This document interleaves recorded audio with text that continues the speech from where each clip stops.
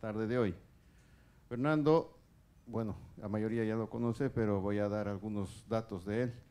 Licenciado en Sociología por la UNAM de México, doctor en Ciencia Política por la Flaxo, eh, catedrático en la carrera de Sociología e investigador del Centro de Estudios Superiores Universitarios, del CESU, en la Universidad Mayor de San Simón de Cochabamba. Es directivo del programa de investigación estratégica en Bolivia y ha escrito varios libros y ensayos sobre democracia, partidos, populismo y discurso político. Actualmente es coordinador del grupo de trabajo Ciudadanía, Organizaciones Populares y Representación Política de la Claxo. Fernando, entonces empezamos y les recuerdo la modalidad. Eh, después de la exposición de Fernando, entramos en diálogo con los participantes eh, para enriquecer este, este diálogo que estamos iniciando. Adelante, Fernando. Buenas tardes. A ver, me siento como un guitarrista a punto de iniciar un concierto con esta escenografía. Voy a hacer eh, una eh, lectura de los resultados electorales y sus efectos políticos institucionales. ¿No? Eh, no voy a presentar ningún mapa, no voy a hacer geografía electoral porque el mapa es casi de un solo color. Y voy a explicar las razones por eso a medida que vaya desarrollando mi exposición. Y voy a partir de hacer un contraste con la eh, exposición de esta mañana, la que hizo eh, Leonardo en torno a Brasil. El primer rasgo a resaltar en relación a Brasil es que aquí se ha afirmado un presidencialismo de mayoría a diferencia del presidencialismo de coalición que tuvo vigencia más de 15 años y que conocemos, conocimos como democracia pactada en Bolivia. Estamos entrando a una tercera gestión de gobierno que muestra estos rasgos de presidencialismo de mayoría que tiende a durar igual ya 15 años. Segundo dato, eh, tenemos aquí un formato eh, de multipartidismo moderado, con cinco, cuatro, tres fuerzas con representación parlamentaria en las últimas eh, legislaturas.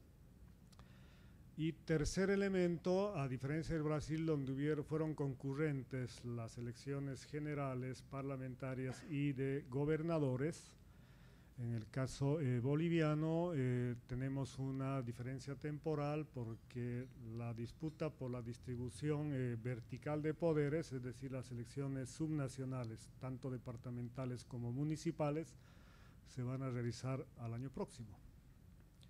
Por lo tanto, los, los espacios, por ejemplo, los ámbitos, los distritos donde hay resultados, ¿no? que puedan mostrar eh, colores distintos al dominante en, algunos departamentos, eh, tendríamos que ver si se ratifican o se modifican en las elecciones subnacionales. ¿No? Solamente con esos datos podemos ver si hay eh, ciertas continuidades en la distribución de preferencias electorales. Y es por eso que no, le, no doy mucha mayor relevancia al hecho de que hubiera enclaves, por ejemplo, opositores en términos electorales en capitales de departamento o en algunas circunscripciones en particular. Con estas aclaraciones entro a, resaltar lo que nos muestra en términos de mapa político los resultados de las elecciones generales del 12 de octubre. Y el hecho más eh, relevante, a mi juicio, es, por un lado, la confirmación de la capacidad hegemónica del proyecto del MAS, y segundo, la consolidación de un sistema de partido predominante. Creo que esos son los datos más importantes porque ya muestran eh, no solamente tendencias, sino ya afirmación de ciertas lógicas de relación entre Estado y sociedad, muestra ya ciertas eh, eh, recurrencias en el comportamiento electoral y obviamente en la capacidad, en la calidad representativa del sistema político en el país. Decía que los comicios de octubre no solamente ratificaron la supremacía electoral del MAS, sino también han ratificado la capacidad hegemónica de su proyecto político. Y esto se muestra en el, carácter monocolor del mapa electoral, que muestra un doble desplazamiento de las preferencias electorales si comparamos con los resultados del año 2009. Disminución de votos en Occidente e incremento del apoyo electoral al MAS en el oriente.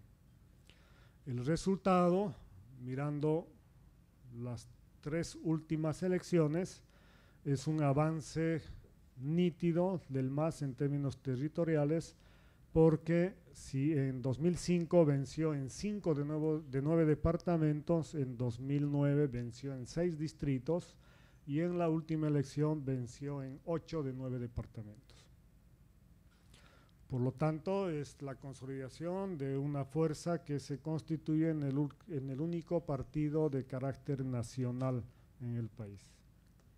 Además, se ratifica la mayoría calificada que dispone en la Asamblea Legislativa con los dos tercios en ambas cámaras, como ocurrió el año 2009 y queda ya en el recuerdo en la nostalgia esta figura de gobierno dividido eh, del año 2007 al 2009, cuando la oposición tuvo control de la Cámara Alta. En estos desplazamientos de votación hay otro dato relevante en términos electorales, que es la victoria del MAS en este departamento, en el departamento de Santa Cruz. En primer lugar, por el carácter simbólico que tiene esto. Se trata ¿no? de una región que fue el bastión de la propuesta de autonomías departamentales, que fue la antípoda del proyecto de Estado plurinacional enarbolado por el MAS. Era el lugar de la defensa de la identidad regional frente a la identidad indígena, de, enarbolamiento igual de la identidad eh, mestiza frente a las propuestas eh, más etnicistas el lugar de eh, igual de defensa del neoliberalismo individualista frente al intervencionismo estatal. Esos fueron los temas que cruzaron, que dividieron al país y que expresaron en la fuerte persistencia durante varios años y además profunda influencia del clivaje étnico y del clivaje regional. Ambos se han resuelto, se resolvieron con la aprobación de la nueva constitución política y la adopción del modelo de Estado plurinacional que incluye el régimen de autonomías eh, territoriales. Decía que esta es un, tiene este valor simbólico y político, pero eh, además expresa un intercambio político que no solamente es resultado de una alianza, una convergencia entre el empresario cruceño y el gobierno, que es una manifestación de un hecho mucho más sustantivo que yo lo defino como un giro programático en el proyecto del MAS. Un giro programático que se expresó eh, a partir del año 2012 con la adopción de lo que el MAS, el gobierno, definió como Agenda Patriótica del Bicentenario 225. La Agenda Patriótica, la adopción de la Agenda Patriótica del Bicentenario constituye un giro programático por dos razones. Primero, porque deja de lado el discurso refundacional que había en algunos sectores del MAS y del gobierno que se expresaba claramente en esta invocación a la descolonización como una política central del gobierno. y en este rechazo de las instituciones republicanas o de la idea de república, de nación homogénea, y al mismo tiempo de eh, suponer, de pensar, de plantear de que antes del 2005 lo que prevalecía era ¿no? bajo diversas eh, modalidades un Estado de carácter colonial. ¿Por qué digo que es un giro programático? Porque al decir agenda patriótica del Bicentenario, primero se recupera una idea de continuidad histórica, digo, se va a celebrar el 225 la fundación de la República, y segundo es la primera idea fuerte, en este caso un eslogan, un nombre, que no lleva como, como adjetivo lo plurinacional, sino lo patriótico. No es la agenda plurinacional del Bicentenario, es la agenda patriótica del Bicentenario. Una idea de patria que sabemos nos remite también a la idea de Estado-Nación finalmente. Segundo, como una lectura, como un balance de lo acontecido en la en el transcurso de la primera mitad de la gestión, de la segunda gestión gubernamental, particularmente como resultado de la imposibilidad de aplicar el decreto para eh, incremento de precio de los carburantes, lo que se conoció como el gasolinazo, que tuvo el rechazo de todos los sectores de la sociedad y que obligó al gobierno a levantar la medida a los pocos días de su lanzamiento Estamos hablando de fines del 2010. Segundo lugar, eh, lo acontecido en torno al conflicto por la construcción de la carretera eh, por el Timnis y la marcha indígena, ¿no? que eh, derivó en la realización de una consulta previa en, en, esa zona con los pueblos indígenas, a lo que se podría sumar varios otros conflictos o demandas que fueron resueltas con decisiones del gobierno que implicaron retrocesos respecto a la postura inicial. Por ejemplo, el incremento de la jornada laboral de los médicos de 6 a 8 horas. ¿Cuál fue el resultado de ese balance? Un cambio en la metodología, si quieren, de construcción de consensos o de articulación de demandas o atención de reivindicaciones por parte del gobierno. Y así se pasó de un formato vigente en la primera gestión y al inicio de la segunda gestión, que era un trato directo con los movimientos sociales a través de la Coordinadora Nacional por el Cambio, con Alcam. Y estas reuniones de evaluación con los movimientos sociales en estas suerte de ampliados donde el gobierno y los ministros, el gabinete, perdón, y el presidente, ¿no? daban informe o intercambiaban con los dirigentes de los movimientos sociales. Y con ARCAM sabemos que fue, digamos, el, el grado más amplio de articulación de todas estas organizaciones populares. Cambia la metodología porque a partir de el 2012 el gobierno opta por convocar a cumbres sociales para tratar justamente eh, las demandas y elaborar la agenda gubernamental a partir de cumbres sociales que se abren a otros sectores, incluyendo empresarios, profesionales, etc. O sea, pasa lo que yo digo en términos generales de eh, un diálogo con un sujeto, eh, ¿no? que es el, digamos, indígena campesino, básicamente, a un sujeto más, diríamos, pluralista, más complejo, que incluye otros sectores eh, sociales. Es decir, pretende representar una mayor diversidad, ¿no? casi a la usanza, digamos, del pueblo en términos generales, como una alianza no solamente clasista, sino en este caso también de identidades culturales. Y esto es lo que le lleva al MAS en las elecciones a ampliar su capacidad de interpelación, ¿no? convocando a profesionales, a empresarios y claramente dirigiendo su convocatoria a los sectores medios urbanos.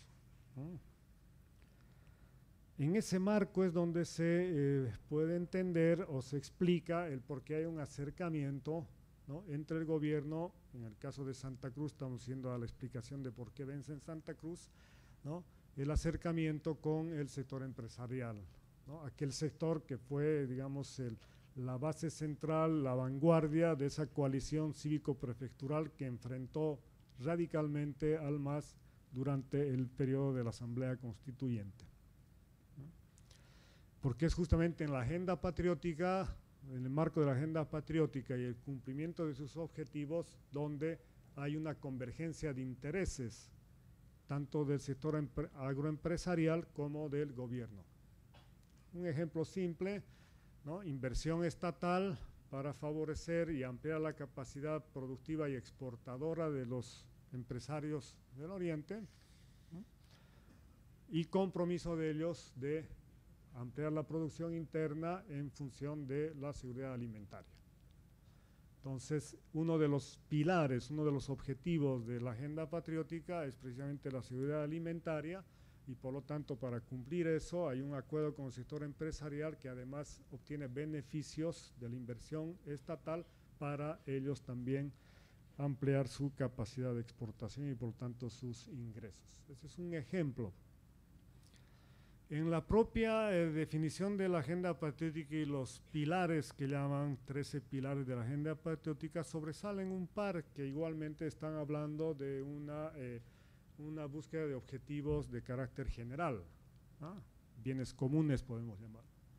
¿Qué plantea la agenda patriótica como objetivos? Erradicación de la pobreza, acceso universal a servicios básicos, seguridad alimentaria. Esto que implica el cumplimiento de las tareas convencionales de cualquier gobierno y de cualquier Estado para resolver rezagos estructurales de desigualdad. Y por lo tanto eso es lo que a partir de esta, de este, de esta convergencia, ¿no? estoy hablando de subordinación de uno a otro, ¿no? pueden ser cálculos pragmáticos de ambos lados, pero hay una convergencia de intereses. ¿no? Es que por ejemplo, disminuye, se mitiga toda la labor de crítica a la gestión gubernamental que era muy evidente, por ejemplo, en los medios de comunicación eh, masivos de carácter privado.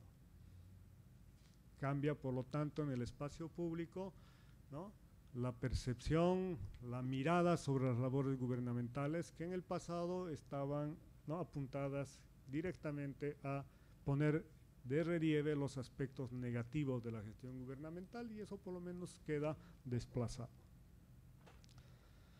Si a eso sumamos la inclusión de candidatos de otro perfil, ¿no? en esta región que corresponden precisamente a esos sectores que se pretendía articular al MAS, tenemos por tanto eh, varios componentes de una estrategia electoral. Pero esto al margen de eh, considerarlo una estrategia de campaña que se desarrolla pensando en cómo actuar en esa coyuntura electoral, lo que tenemos es también la consecuencia de un sostenido crecimiento del MAS por lo que se llama sobre todo penetración territorial, combinada con lo que se llama la teoría difusión territorial. Penetración territorial es cuando de un centro se expande para crecer un partido y difusión cuando se articula con élites locales o con grupos locales organizados. En Santa Cruz eso es más claro que en el caso de Pando, por ejemplo, del cual voy a hablar más adelante. Entonces, ¿por qué digo que esto es, eh, es un proceso continuo de crecimiento electoral fruto de penetración eh, territorial? Porque el apoyo a Evo Morales pasó de un tercio del electorado en 2005 a casi la mitad de la votación en 2014. O en nueve años, esa es la diferencia. ¿no? Y si comparamos 2005, 2009 y 2014, las fuerzas de la oposición en su conjunto, en comparación con el MAS, perdieron 10 puntos porcentuales entre una y otra elección. Luego voy a hablar de... Eh, porque el caso de la oposición y este eh, descenso. Si es que me da el tiempo y si no en las, en las eh, preguntas. Estamos hablando, por lo tanto, que el MAS 2014 se convierte por primera vez en la fuerza vencedora en este departamento con 49% de votos, es decir, su votación creció en 16 puntos en el transcurso de una década. Digo, es un dato. Eso se puede reforzar con lo que sucede a nivel de diputaciones uninominales en, Santa Cruz. El 2005 obtuvo el más 5 de 13 diputados uninominales y solo venció en una circunscripción del conurbano, digamos, de los municipios aledaños a la ciudad de Santa Cruz. El 2009 pasó a 6 de 13 uninominales, se repitió su victoria en esa circunscripción urbana, vamos a decir, pero en, en la última elección vencieron en 3 de 8 circunscripciones, o sea, de 1 a 3 pasaron su, su victoria en esta región, y en general obtuvieron 8 de 14 uninominales en disputa. Ahí también obtuvieron más de la mitad. Ese es otro, ese es, creo que eso muestra claramente que estamos no solamente ante una coyuntura que muestra desplazamiento de preferencias, sino ante la ratificación, insisto, de un cre del crecimiento sostenido de una eh, fuerza uh, política. Ocurre algo parecido en Pando, el otro departamento donde por primera vez gana el MAS, había perdido en las dos anteriores elecciones frente a la oposición. Y ahí ocurre algo similar, inclusive mucho más fuerte. ¿no? Las fuerzas eh, de la oposición, que eran dominantes en ese espacio político, bajaron su votación a la mitad, llegaron a tener 80% en 2005, en cambio en esta última elección el MAS termina triplicando sus cifras de una década anterior. Esto eh, completo esta mirada con un par de valoraciones respecto a lo que sucede en Occidente, donde uh, hay una disminución de la votación del MAS. Pero eh, lo que quiero eh, resaltar es que la merma del apoyo al MAS en Occidente tiene menor significación que el incremento que logra en Oriente. ¿Por qué? Porque sus descensos, los descensos que tiene el MAS en la votación respecto al 2009 no son tales respecto al 2005. En La Paz, por ejemplo, el 2005 obtuvo 66%, el 2009 obtuvo 80% y el 2014 desciende a 68%. Si se compara con el 2009 es un descenso de 12 puntos pero si se compara con el 2005 estamos hablando de un incremento de dos puntos.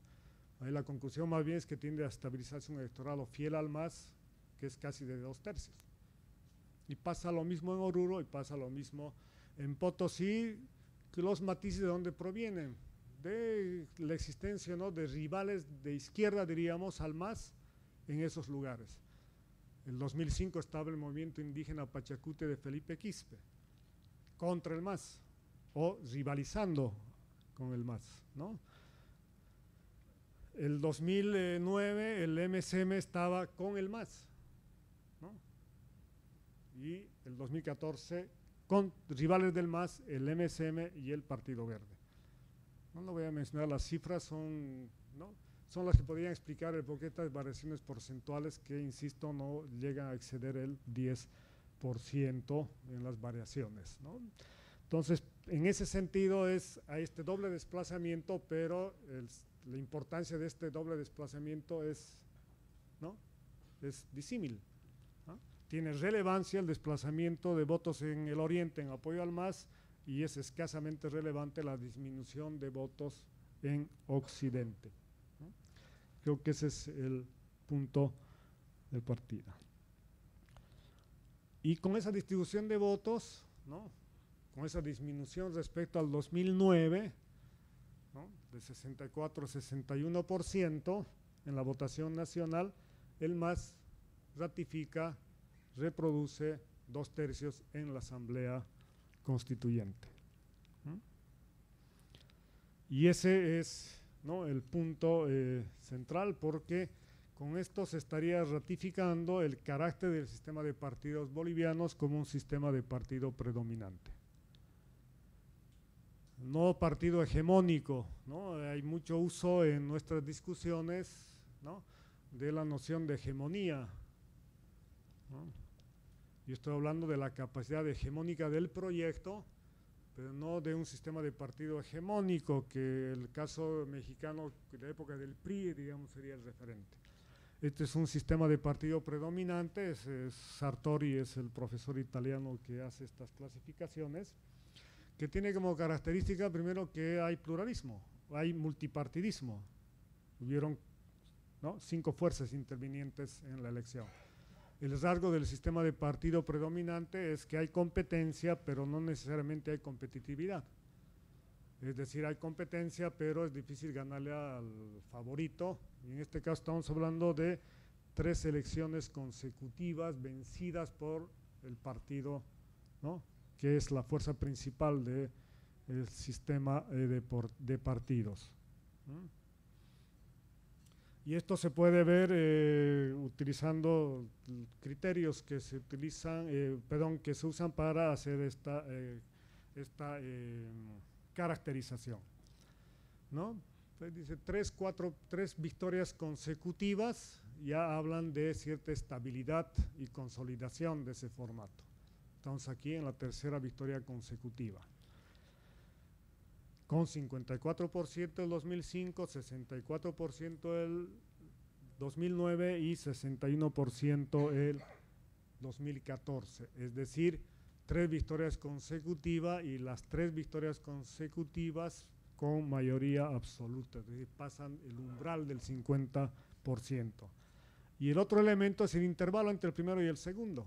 Y tenemos 25, 38 y 37 puntos de distancia respecto al segundo.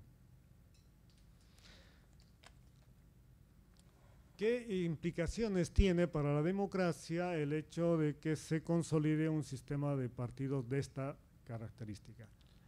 Primero, que combinado con el presidencialismo tenemos justamente un presidencialismo de mayoría, que implica la concentración de poder y que en el poder ejecutivo, en el presidente, en la figura presidencial, y esto implica la debilidad de las dos instituciones clásicas, convencionales que ponen freno al decisionismo presidencial.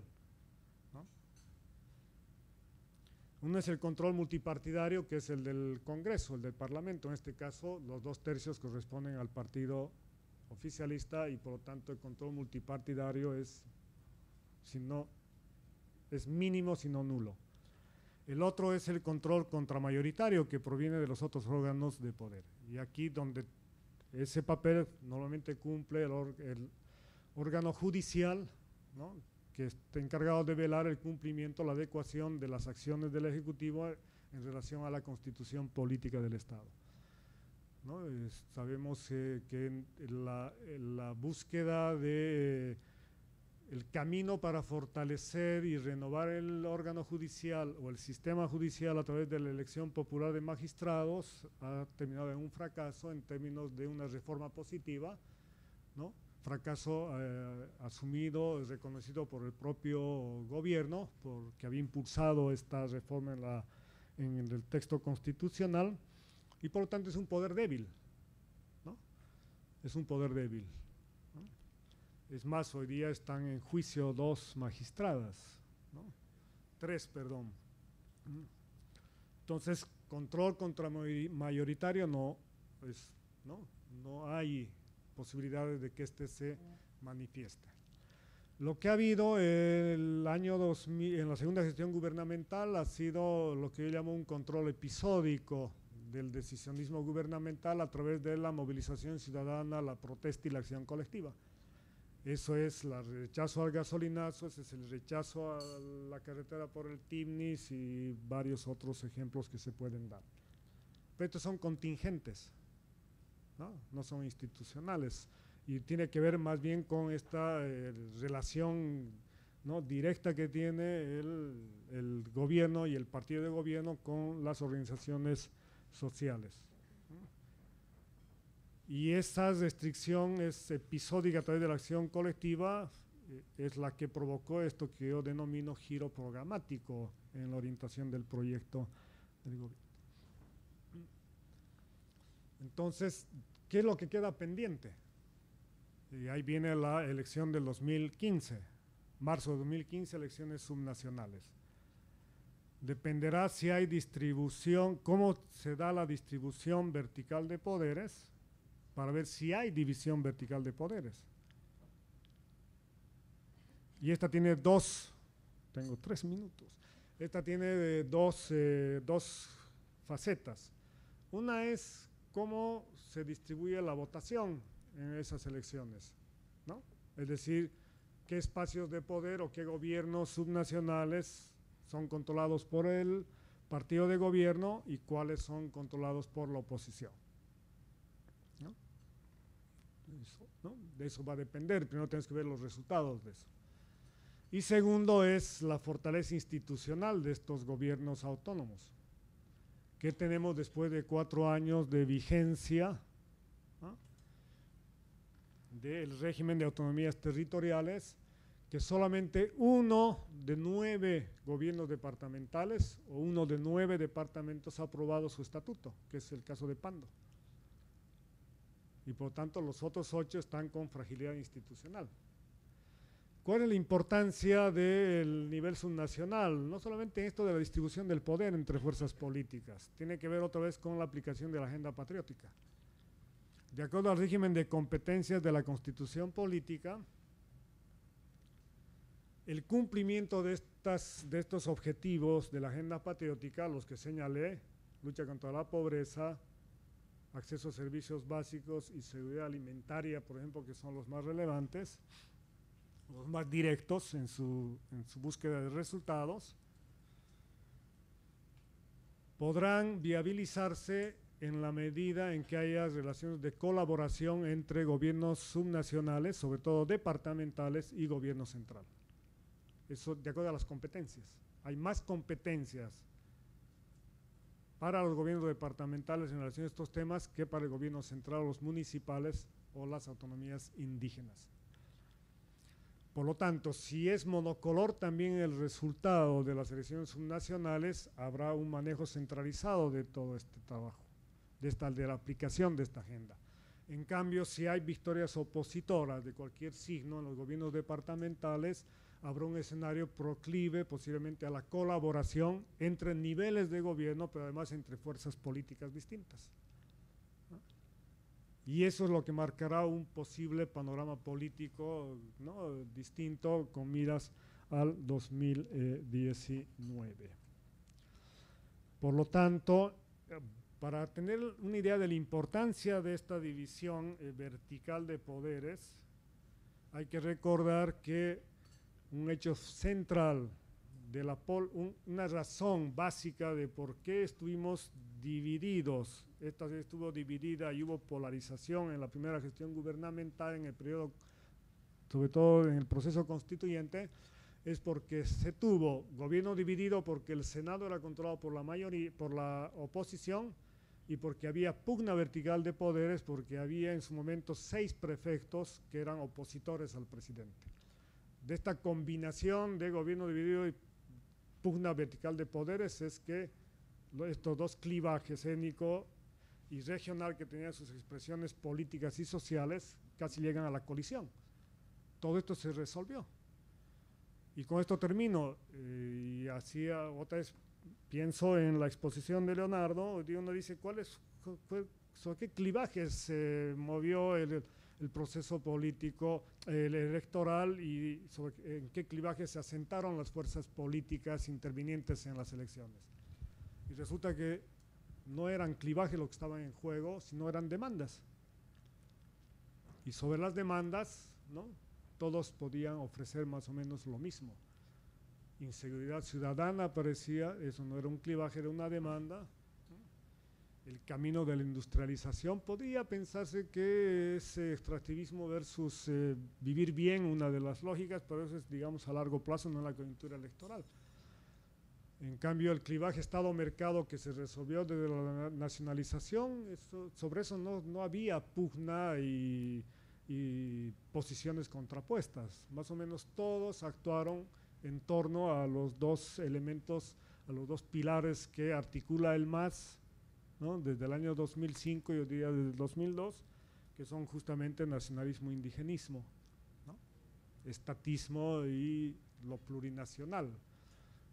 Y es esta combinación, ¿no? que además es privilegia una cara respecto a la otra de acuerdo a las circunstancias y a partir de esa articulación contingente es que se va definiendo el derrotero del proyecto. Por eso yo, eh, no es propaganda, no tengo otro término para, eh, para caracterizar, defino en mi libro como título la, la noción de incertidumbres tácticas. Es decir, aquí no hay incertidumbres respecto al proyecto de Estado en Bolivia. Eso ya hay certeza, certidumbre, hay un proyecto hegemónico. Lo que está en juego aquí es la táctica, el camino a seguir para lograr esos objetivos.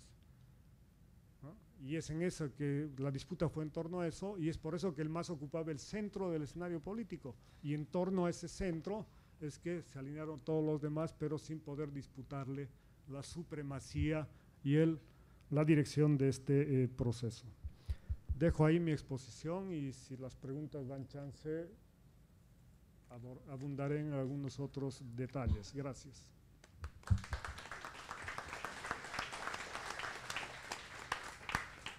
Gracias, Fernando.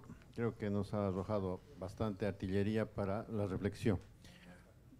Eh, les informo un poco la metodología que vamos a seguir. Vamos a levantar una lista de 10 en una primera ronda para que Fernando pueda contestar y una segunda ronda de otros 10 si es que el diálogo está muy animado. Entonces, por favor, procedemos.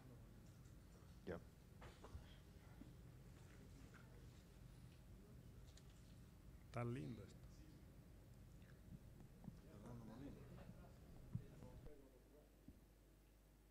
Aquí, Cherensky. Cherensky.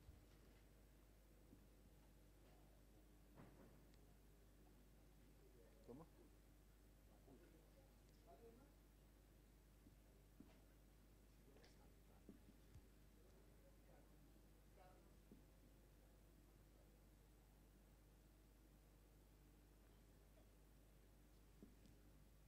Dos, cuatro, seis.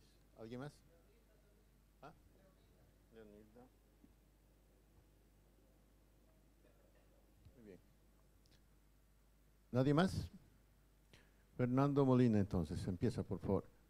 Eh, intentemos no pasarnos los tres minutos para que podamos tener un diálogo más cruzado. Gracias, Fernando.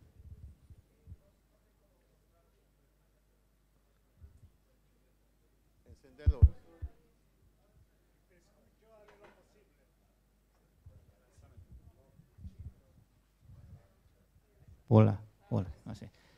Em, es en realidad un, eh, un acuerdo con lo que tú has dicho, eh, que, quizá no es del eh, completo si es que eh, he entendido mal o hay quizá una discrepancia escondida con respecto a esto que denominas ampliación o giro del, del programa del MAS, ¿no?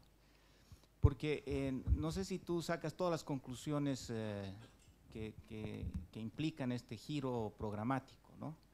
Es decir, eh, a veces he sentido hablando de esto simplemente como una estrategia electoral, pero implica una serie de concesiones ideológicas, ¿no? que nos deberían llevar a recaracterizar al MAS en, diversos sentidos, ¿no? Aquellos elementos que lo hacían más diferente del proyecto de la Revolución Nacional, es decir, del nacionalismo revolucionario, se han amorigerado ahora, ¿no? Se han amortiguado, han ido desapareciendo, es decir, los dos elementos que lo hacían más novedoso, eh, más eh, siglo XXI respecto a la tradición nacionalista revolucionaria han desaparecido en esta elección. Uno, su, su carácter eh, indianista, que prácticamente no ha sido materia de exaltación electoral, etcétera. Y luego eh, la moderación de su programa, que siempre fue nacionalista popular, pero se ha moderado para incorporar a las élites, ¿no? A las élites de las que has hablado, que son élites con intereses y con visiones del mundo diferentes de las del MAS eh, del 2005. Entonces, cuando se construye hegemonía sin coerción, porque estamos en un sistema democrático, sin coerción grave, se construye hegemonía eh, englobando o deglutiendo a estos sectores que eran externos y que ahora son parte del proyecto. Ahora Colbert es parte del MAS, eh, las aristocracias tarijeñas son parte del MAS, eh, Dabdub son parte del MAS, etc. Entonces, al deglutirlos, obviamente hay un precio que pagar. Yo creo que es eh, bien interesante que eh, tengamos que pasar de una caracterización de un movimiento nacionalista de izquierda eh, mucho más popular y contestatario que había antes, a un movimiento mucho más parecido al MNR en el sentido de eh, portador de un proyecto nacional, de alianza de clases, de, de congregación de intereses en torno a eh, los ejes que tú has mencionado son de consenso de todos, ¿no? Es decir, para eso tiene que sacrificar un poco el indianismo, porque eso e- era un obstáculo, y tiene que afilar su sentido desarrollista. Eh, perdón que no haya hecho una pregunta, gracias. Gracias, Fernando. Silvia, por favor. Gracias. Eh, sí, voy a tratar de también hacer una pregunta. Eh, seguramente eh, requerirá mucho más debate esta idea del, del giro programático que, que tú planteas y tal vez partiendo también de ciertas constataciones, ¿no? Como que, por ejemplo, el discurso de la, demo- de la revolución democrática cultural está más hacia afuera, en el exterior, fuera del país, y una constatación que está presente aquí es una continuidad histórica de las políticas extractivistas que vienen desde la colonia, ¿no es cierto? Esa continuidad histórica es una constatación. Y quizá en este, en este debate hacia futuro hay, como decía aquí mi compañera, varias incertidumbres más que poner, como por ejemplo, eh, y en lo que he escuchado de, de tu exposición, eh, no he escuchado el tema de ¿y qué de la democracia intercultural? Porque no se olvide que esta es nuestra primera elección con tema justamente bajo ese marco, después de la aprobación de la Constitución, del tema de la democracia intercultural. Y nuestra primera elección también con el tema de la paridad y alternancia, que evidentemente hemos dado saltos en términos de esta paridad representativa, de, de, esta democracia representativa, en términos de cantidad, hemos dado un salto importante, el 48%. Sin embargo, ¿qué pasa en estas incertidumbres a futuro con la democracia intercultural y la efectividad de la paridad y alternancia en el ejercicio? Gracias, Silvia. Pedro Portugal.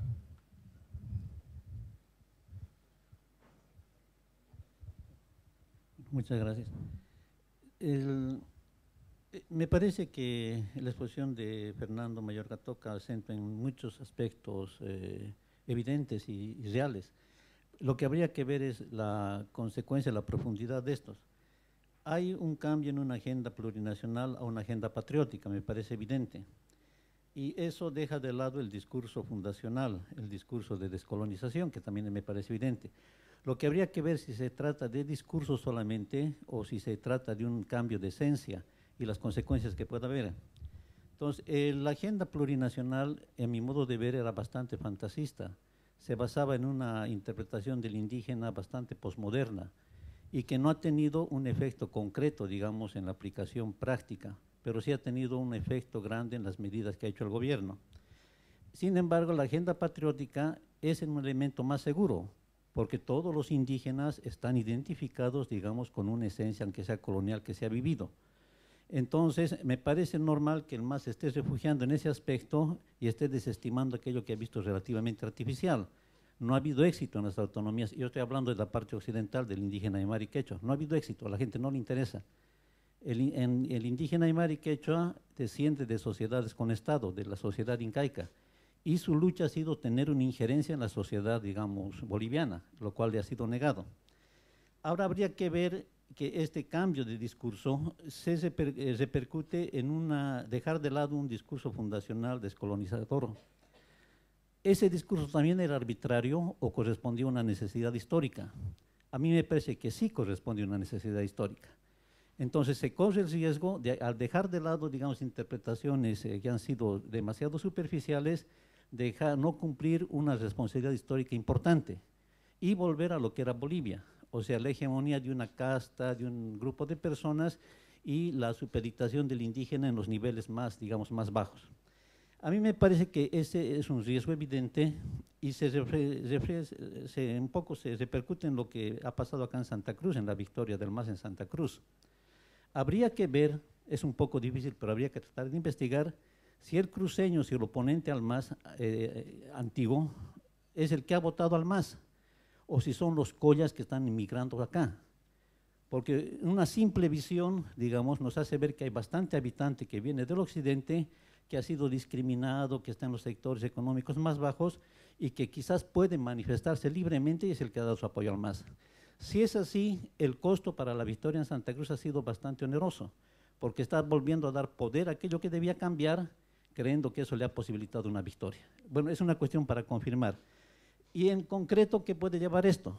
Puede llevar a que se va a volver a replantear, pero en términos más difíciles, más conflictivos, esta necesidad de descolonización que todavía a mi modo de ver existe en Bolivia.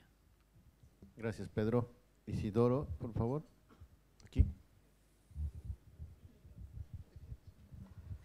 Eh,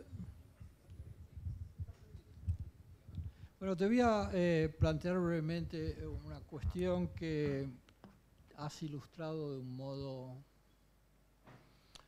amplio, que es el régimen político, ¿no? O sea, eh, ¿qué eh, futuro? No, eh, Bolivia no es un caso único, pero creo que es muy ilustrativo del éxito de lo que podríamos llamar un curso, un proyecto nacional, que marginaliza o incluso inhibe por su propio curso eh, el antagonismo político, es decir, la, competencia política. Digo esto eh, porque efectivamente vos decís no es... Eh, sistema de partidos, podemos nosotros hablar de sistema de partidos cuando tenemos cuatro partidos regionales y un partido nacional.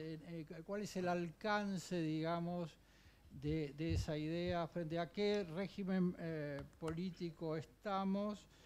Esto quiere decir, como vos mismo lo decís, este, el, gobierno para decidir tiene todas las mayorías institucionales y no tiene una, un desafío institucional. El desafío aparece, y también vos lo, lo planteas, con la protesta cívica o popular o como se quiera llamar. Vos eh, mencionaste el TIPNIX y el gasolinazo pero yo creo que eso, eh, yo lo he estado pensando respecto a otras sociedades, pero me parece que, Bolivia es bien ilustrativo. Eso es otra escena, una escena donde hay eh, un proyecto nacional y un gobierno que el desafío que tiene es la protesta, eh, más bien el registro de la negatividad, es decir, el bloqueo de decisiones que son consideradas perjudiciales. Bueno, yo creo que ese, este, este tipo de modelo bipolar, que no sé cómo llamarlo, que supone una vida política activa, pero que tiene un polo gubernamental y un polo ciudadano o popular. Ahora, eso supone muchos problemas que yo no, no, voy a plantear acá, simplemente un poco de, desafío a ver cómo, cómo ves vos la visión del régimen político, pero entre otras cosas, es una vida política poco deliberativa, sobre todo, a menos que la protesta tenga alguna forma de sedimentación que efectivamente suponga deliberación y alternativas. E, eso es... Eh, em, ahora, eh, vos eh, depositas una esperanza en las elecciones del año próximo. Puede ser que sea así. La Argentina es un país federal, los Kirchner gobiernan desde hace tiempo siendo, eh, no teniendo las gobernaciones de la Ciudad de Buenos Aires, la Ciudad de Santa Fe, la Ciudad de Buenos Aires, de la provincia de Santa Fe, de la provincia de Córdoba, y con dificultades, digamos, con, alguien del gobierno, pero con el cual tiene muchos conflictos en la provincia de Buenos Aires. O sea, em, en un país federal con las características argentinas, creo que es, por ejemplo, la Argentina es diferente que Brasil, donde el poder, el, poder eh, de distritos o, subnacional, como suele decirse, ahora, es que en Bolivia puede llegar a tener significación eh, de activación política, de desafío o de competitividad este, en el poder regional.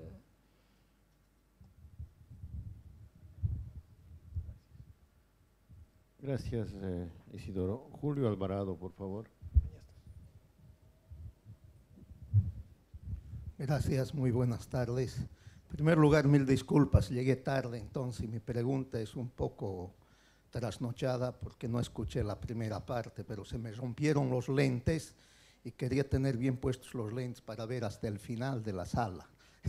Pues bien, a ver, en tu exposición, Fernando, eh, lo que a mí me llama la atención es que hablas de estadísticas, de relaciones, como si esta elección hubiera sido una elección normal, común y corriente, como si esta fuese una elección en, el Reino Unido, ¿no?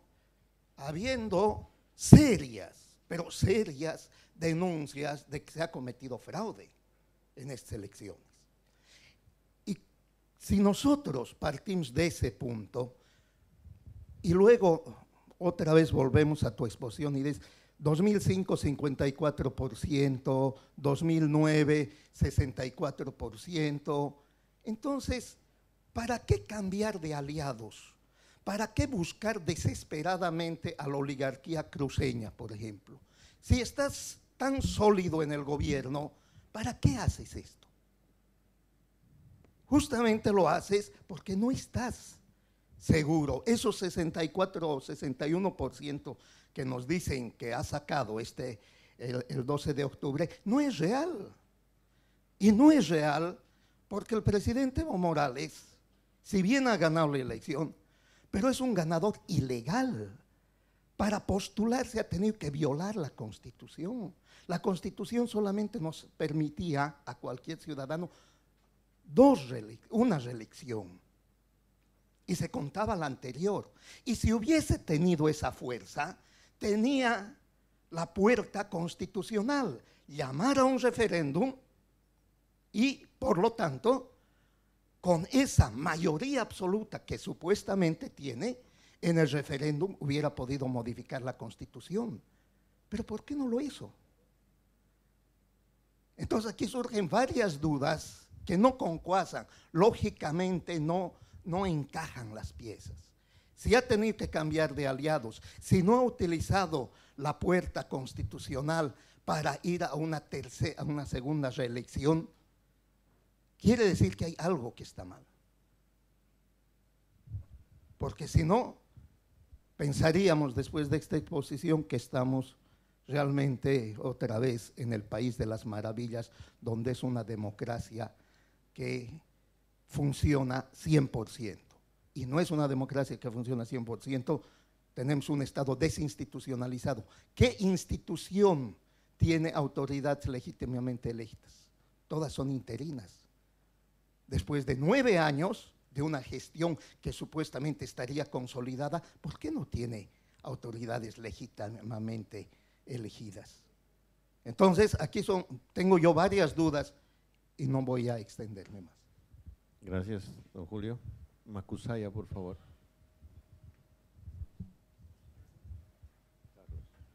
Gracias. Eh, bueno, yo quería un poco eh, plantear, a partir de las cosas que ha dicho el expositor, un par de inquietudes que me vienen. Por ejemplo, en general, si se ve el crecimiento del MAS, bueno, esa penetración en Santa Cruz, surge también una pregunta para la oposición, digamos que se había anclado en Santa Cruz, ¿cómo es que no logra penetrar en los Andes? Y ese también es un problema, evidentemente que no tiene que ver específicamente con la exposición, pero es una pregunta que la oposición debería plantearse en su derrota. No tuvo la capacidad de articular hacia este lado y me parece que ahí también tiene que ver con el problema de creerse el mito que los indígenas ah, estaban por ese proyecto descolonizador y ahí es donde quiero aterrizar. Si vemos al gobierno bueno, si estiramos hacia atrás un poco el análisis, no solo las elecciones del 2005, si nos vamos un poco más atrás, vamos a ver que siempre ha habido cambios. Eh, por ejemplo, lo indígena no es algo característico del MAS. Antes, lo toma. Eh, eh, igual va tomando ciertas cosas. Todos los movimientos, los partidos van haciendo, digamos, innovaciones, ajustándose a las circunstancias políticas para poder tener vigencia. Y eso es lo que ha hecho el movimiento al socialismo. Por, lo tanto, antes del 2005, yo recuerdo cuando estaba en las calles, el 2003, ah, digamos, nosotros jóvenes, por decirlo más interpelados por el discurso de Felipe Quispe, en el Alto nunca encontrábamos como referente a Evo. Ahora, sin embargo, uno puede ir al Alto y muchas personas sí van a encontrar como referente. No solo hay un cambio, digamos, discursivo en el MAS, también ha logrado que ese, cambio vaya aterrizando o, vaya sedimentándose en ciertos sectores que son su base social, por una parte. Pero además habría que tener en cuenta que este cambio de proyecto, y es lo que decía don Pedro, también lo, escuché por allá, ah, tiene que ver con eh, dejar de lado ciertas banderas, la descolonización, el vivir bien. Y desde mi punto de vista, esto para mí, más que ser criticable, es saludable, porque en buena medida, también lo han mencionado, esa imagen de los indígenas hacia afuera y hacia adentro es desarrollismo. Pero vayamos más allá. ¿Será que el indígena se cree esa imagen hacia afuera? juega a ser, digamos, el sujeto que se disfraza para ser reconocido como indígena, yo lo puedo decir por mis vecinos, por mis familiares, no los, por las personas que salen en eventos para decir que son indígenas. Ellos aspiran, digamos, a tener eh, ciertos beneficios, modernidad. Pongo un ejemplo. Si Evo Morales ponía, en vez de un teleférico, una gran cantidad de llamas, que, te transporten de la ceja a La Paz, la gente no lo iba a aceptar, porque, porque sea ancestral o porque sea, digamos, por el vivir bien o la Pachamama. O sea, el indígena no, no apuesta a eso. Eso tal vez un gringuito le hubiera gustado, pero yo pienso que los indígenas no podemos vivir para dar gusto a los gringuitos. Bien, por una parte es eso. Entonces, creo que no solo es el problema que la imagen que se da hacia afuera, que hacia adentro nos hemos creído la idea de que el indígena está yendo por ese lado. Ese es un problema. Bien, yo lo veo así, con esto voy a cerrar.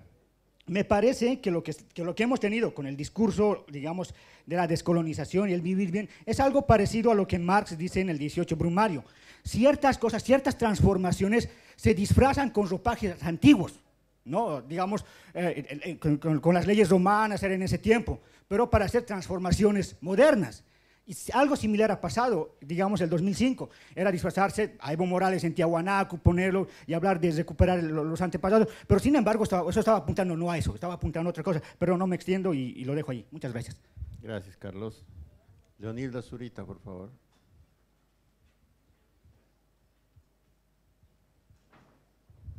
Bueno, muchas gracias. Eh, primero hay que entender, hay victoriados y no victoriados. Y también, tenemos que saber respetarnos. ¿Por qué? 61% menos 24% nos resta 36% encima de la unidad demócrata.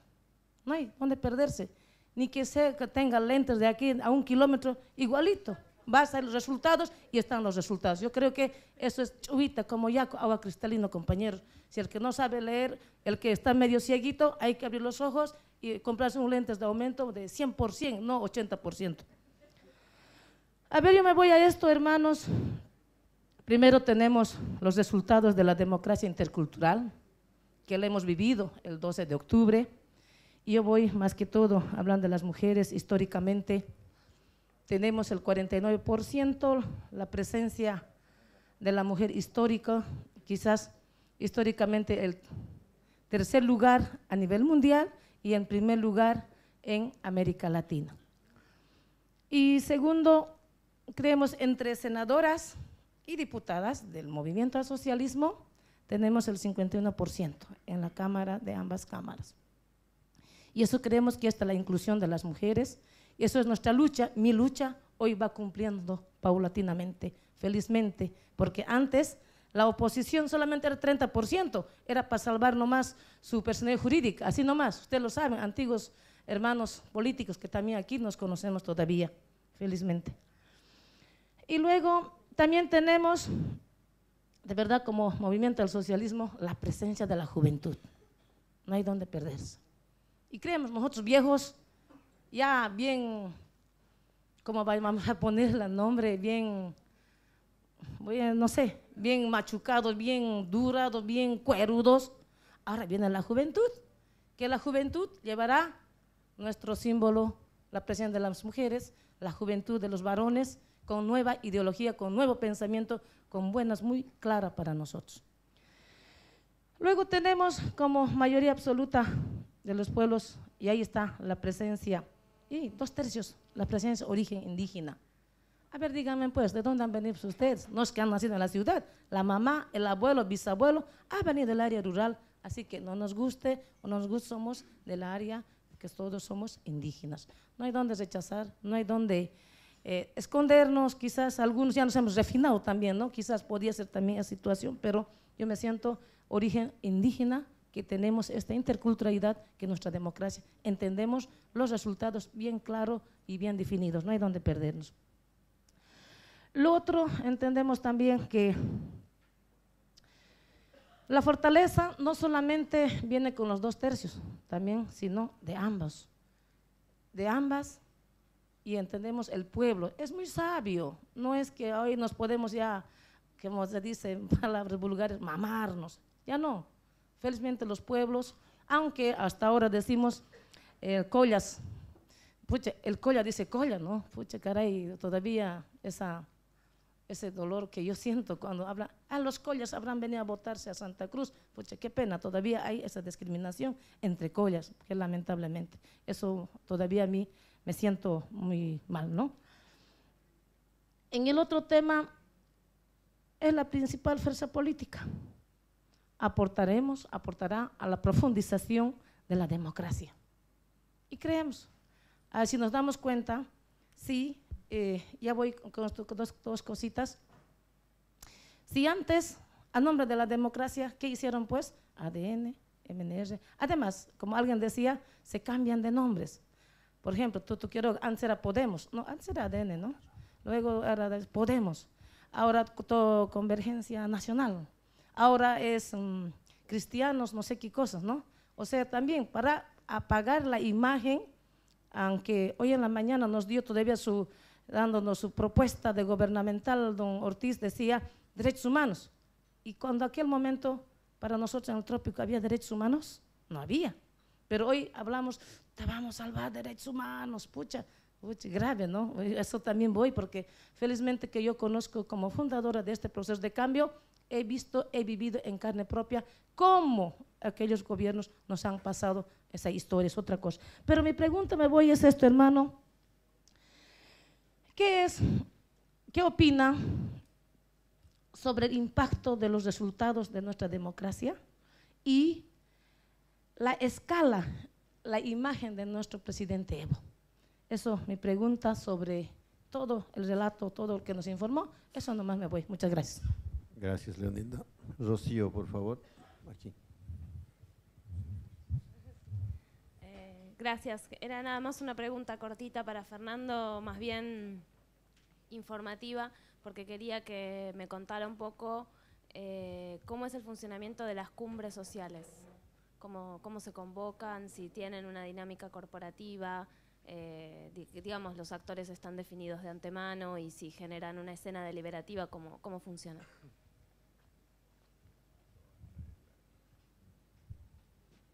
Gracias, Rocío. Erika Brockman. Eh, muchas gracias. Eh, en primer lugar, eh, mm, parto con el nombre del libro, Incertidumbres Tácticas, y con una pregunta que retomo de Pedro Portugal, en que decía, este, este cambio programático, ¿Es táctico o es ya un elemento que se ha sentado estratégicamente? Y me acuerdo tus presentaciones hace exactamente seis años cuando ponías un Evo Morales con el traje de Elizabeth, eh, Canedo, ¿no? y, el, traje de la entronización en la, entronización en, eh, ¿qué se llama? en Tiahuanaco. Entonces tú ponías ese gran dilema que tenía el MAS eh, en relación a concebir su propia identidad. Entonces mi pregunta es si es esencial o es simplemente un reconocimiento de la realidad, ¿ya? Versus a la imposibilidad de hacer realidad algunos eslogans que eran parte del programa original. Pienso en la democracia intercultural. La democracia intercultural, su sello identitario es la democracia comunitaria, que es el piso del artículo 11, en que la república se organiza en tres, es la democracia comunitaria. Y estamos viendo, después de nueve años y después de cuatro años que se instalan los primeros once gobiernos municipales, que se tratan de volver en, democracias multiculturales o indígenas originarias, una gran dificultad de cristalizar aquello. Entonces mi pregunta es, ¿no crees que esos dos clivajes, el étnico y el territorial, y me gusta inclusive uno de tus libros que decía, han decantado ya en la realidad y ahora tienen que operativizarse una realidad institucional no tan radical como eran originalmente sus planteamientos? Primer tema. Y el segundo tema, ¿no sería interesante, más allá de las categorías de Sartori, utilizar esta tu, tu, tu, tu, aproximación a lo que significa y cualitativamente la democracia desde O'Donnell, la democracia delegativa con un hiperpresidencialismo, que donde los temas verticales y horizontales con los poderes comienzan a tener altos déficits en términos de deliberación, que se quedan simplemente en una deliberación corporativa y no necesariamente un control vertical o horizontal de poderes. Eso quería. Gracias, Erika. Y para concluir la primera ronda, Adolfo Mendoza. Gracias, Juan Carlos. Yo quisiera poner dos ah, temas, ah, ojalá para algún contrapunteo de lo mencionado por Fernando, uno respecto del sistema de partidos y otro eh, respecto del cambio de la matriz programática. Eh, no sin antes eh, darle un poco más eh, de énfasis a algo que en términos de democracia intercultural estamos eh, obviando. Parecería que desde una visión del buen salvaje, la democracia intercultural solamente se reduce a un asunto de indios. Eso es absurdo. No, no tiene nada que ver lo intercultural solamente como una cuestión indígena. Es algo mucho más abarcador, pero obviamente parte desde una propuesta indígena. Es una propuesta indígena con pretensión universal de validez. Por tanto, genera un sentido de articulación. Y ahí vemos un núcleo distinto de una eh, transformación eh, intercultural. Por eso es que son importantes los datos.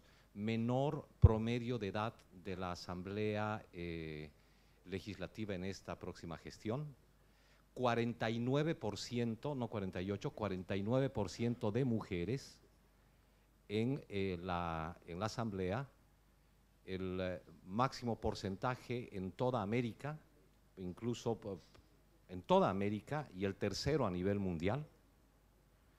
Ah, pero además, eh, donde el movimiento al socialismo tiene el 51% de representación femenina en la Asamblea lo que no ocurre con las otras organizaciones políticas. Y tenemos el 51% de eh, escaños eh, em, eh, compuestos por mujeres en diputados. O sea, no son cosas menores en términos de transformación de la democracia. Y prácticamente dos tercios si es que consideramos la autoadscripción, la autoidentificación respecto del origen. Respecto del origen, eh, podemos encontrar casi dos tercios de autoidentificación. Claro, algunos dirán, ¿y, eso qué? Porque existe la imagen del indígena como un hecho rural, como un hecho de pobre, como un hecho que no tiene que ver con el capitalismo, que no tiene que ver con absolutamente nada más que aquello marginal. Pero yo creo que estos son elementos fundamentales para evaluar la democracia eh, intercultural y eh, sus avances.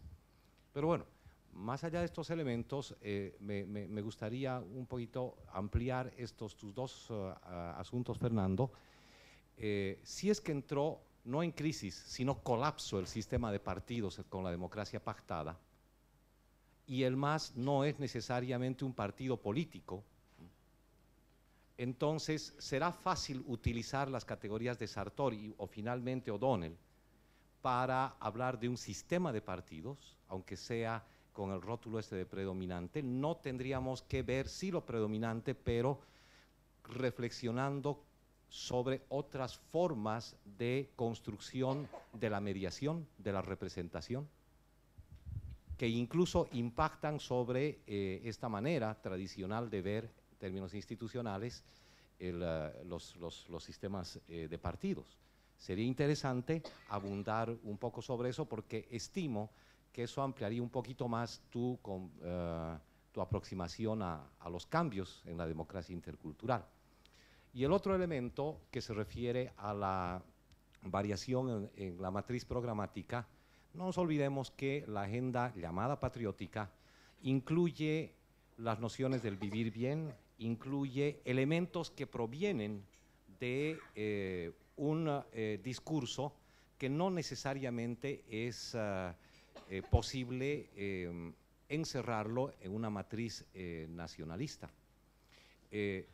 más que hablar de una transformación en la matriz programática a partir de tu propio concepto de articulación discursiva, de interpelación, no se podría estar más bien ampliando, más bien hablando de una ampliación desde un núcleo que eh, irradia, interpela y articula al conjunto y que por tanto incluye otros elementos que no necesariamente formaban parte de ese núcleo vital eh, en el inicio. Entonces eso sí completaría la imagen de eh, articulación discursiva, pero esta vez ya a nivel programático, transformando, a diferencia de lo que ocurría el 2005 y luego el 2009, transformando eh, la propuesta ya en políticas de Estado, es decir, volviéndose sentido común y por tanto hablando de la propia hegemonía. Gracias, Adolfo. Mientras Fernando eh, responde en esta primera ronda, eh, estamos tomando apunte para la segunda ronda, por favor. Fernando, tienes la palabra. Gracias por los comentarios y las preguntas. Posible que al responder a una esté respondiendo algunas posteriores, pero voy a ser respetuoso con todos y cada uno de los intervinientes. Eh, Fernando Molina dice si es giro programático o estrategia electoral y si eso implica concesiones ideológicas y redefinición del MAS. Eh, pienso que coincide, o sea, enlazo con lo de Adolfo. Uno se pone a pensar, ¿cuál era el proyecto original del MAS? ¿Cuál era el proyecto original del MAS? No, es un proyecto que se va construyendo en el propio proceso político. En esa medida, eh, digo, concesiones ideológicas respecto a qué principio ideológico eh, digamos, primigenio, ¿no? porque se podría suponer que si es movimiento al socialismo, ese es un principio ideológico. ¿Cuándo lo fue? Solo lo indígena, o lo indígena cuando fue solo lo indígena. Y así sucesivamente. Y que tiene que ver con la propia complejidad de los actores que formaron justamente la base social del más, la más fuerte. Si uno piensa, por ejemplo, en el Pacto de Unidad, puede encontrar diversidad ahí. Si piensa en la Confederación Sindical Única de los Campesinos, se encuentra complejidad. En las federaciones del trópico encuentra complejidad, ni hablar ya con la caracterización como interculturales de una amplia gama de sectores sociales. En ese sentido es que no hay concesiones y no hay redefinición, es una búsqueda constante, a mi juicio y que tiene que ver justamente con el hecho. Erika decía, eh, ¿cuál de los dos Evos? ¿El de Tiabanacu o el del Palacio Quemado? ¿El que está de indígena o el que está con las medallas de Bolívar y Sucre con chamarra? Los dos.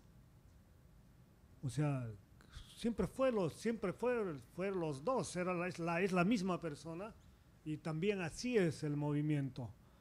El problema es que de acuerdo otra vez a la relación de fuerzas y también a los objetivos que se plantean, a las, circunstancias del contexto, una predomina respecto a la otra. Se articulan de diversa manera, ahí está la flexibilidad del asunto. El, por qué eso eh, tiene eh. Eh, que ser evaluado a partir otra vez de un proyecto original es, eso para mí implica una mirada, de, una pretensión racionalista, ¿no? idea de que hay un proyecto, un plan que se despliega y no hubo un proyecto ni un plan. Silvia eh, hablaba a propósito eh, de la democracia intercultural. Preguntaba sobre eso, pero antes decía, eh, aquí ¿Dónde quedó, dónde están los revolucionarios si tenemos una continuidad histórica del extractivismo?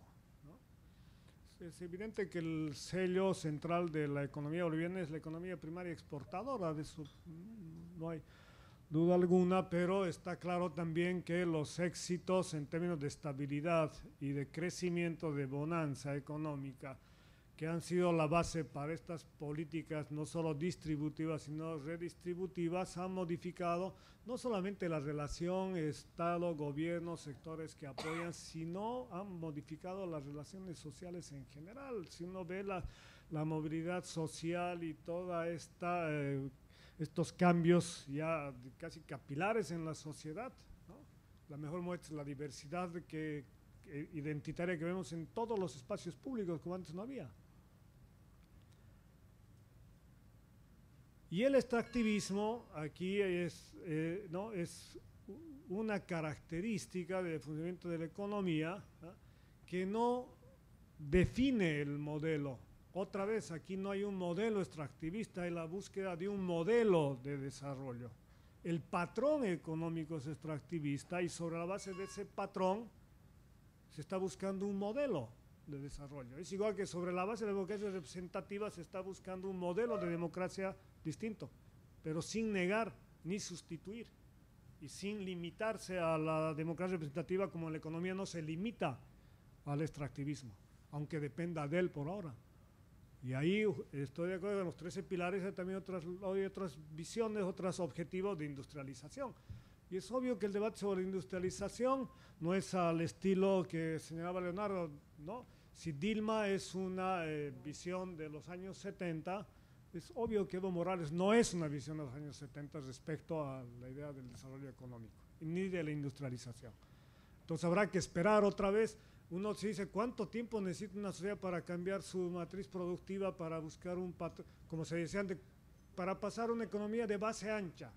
¿Cuánto tiempo se necesita? Partiendo otra vez de nuestras precariedades, ¿no? de nuestros rezagos y, el tamaño de nuestra economía.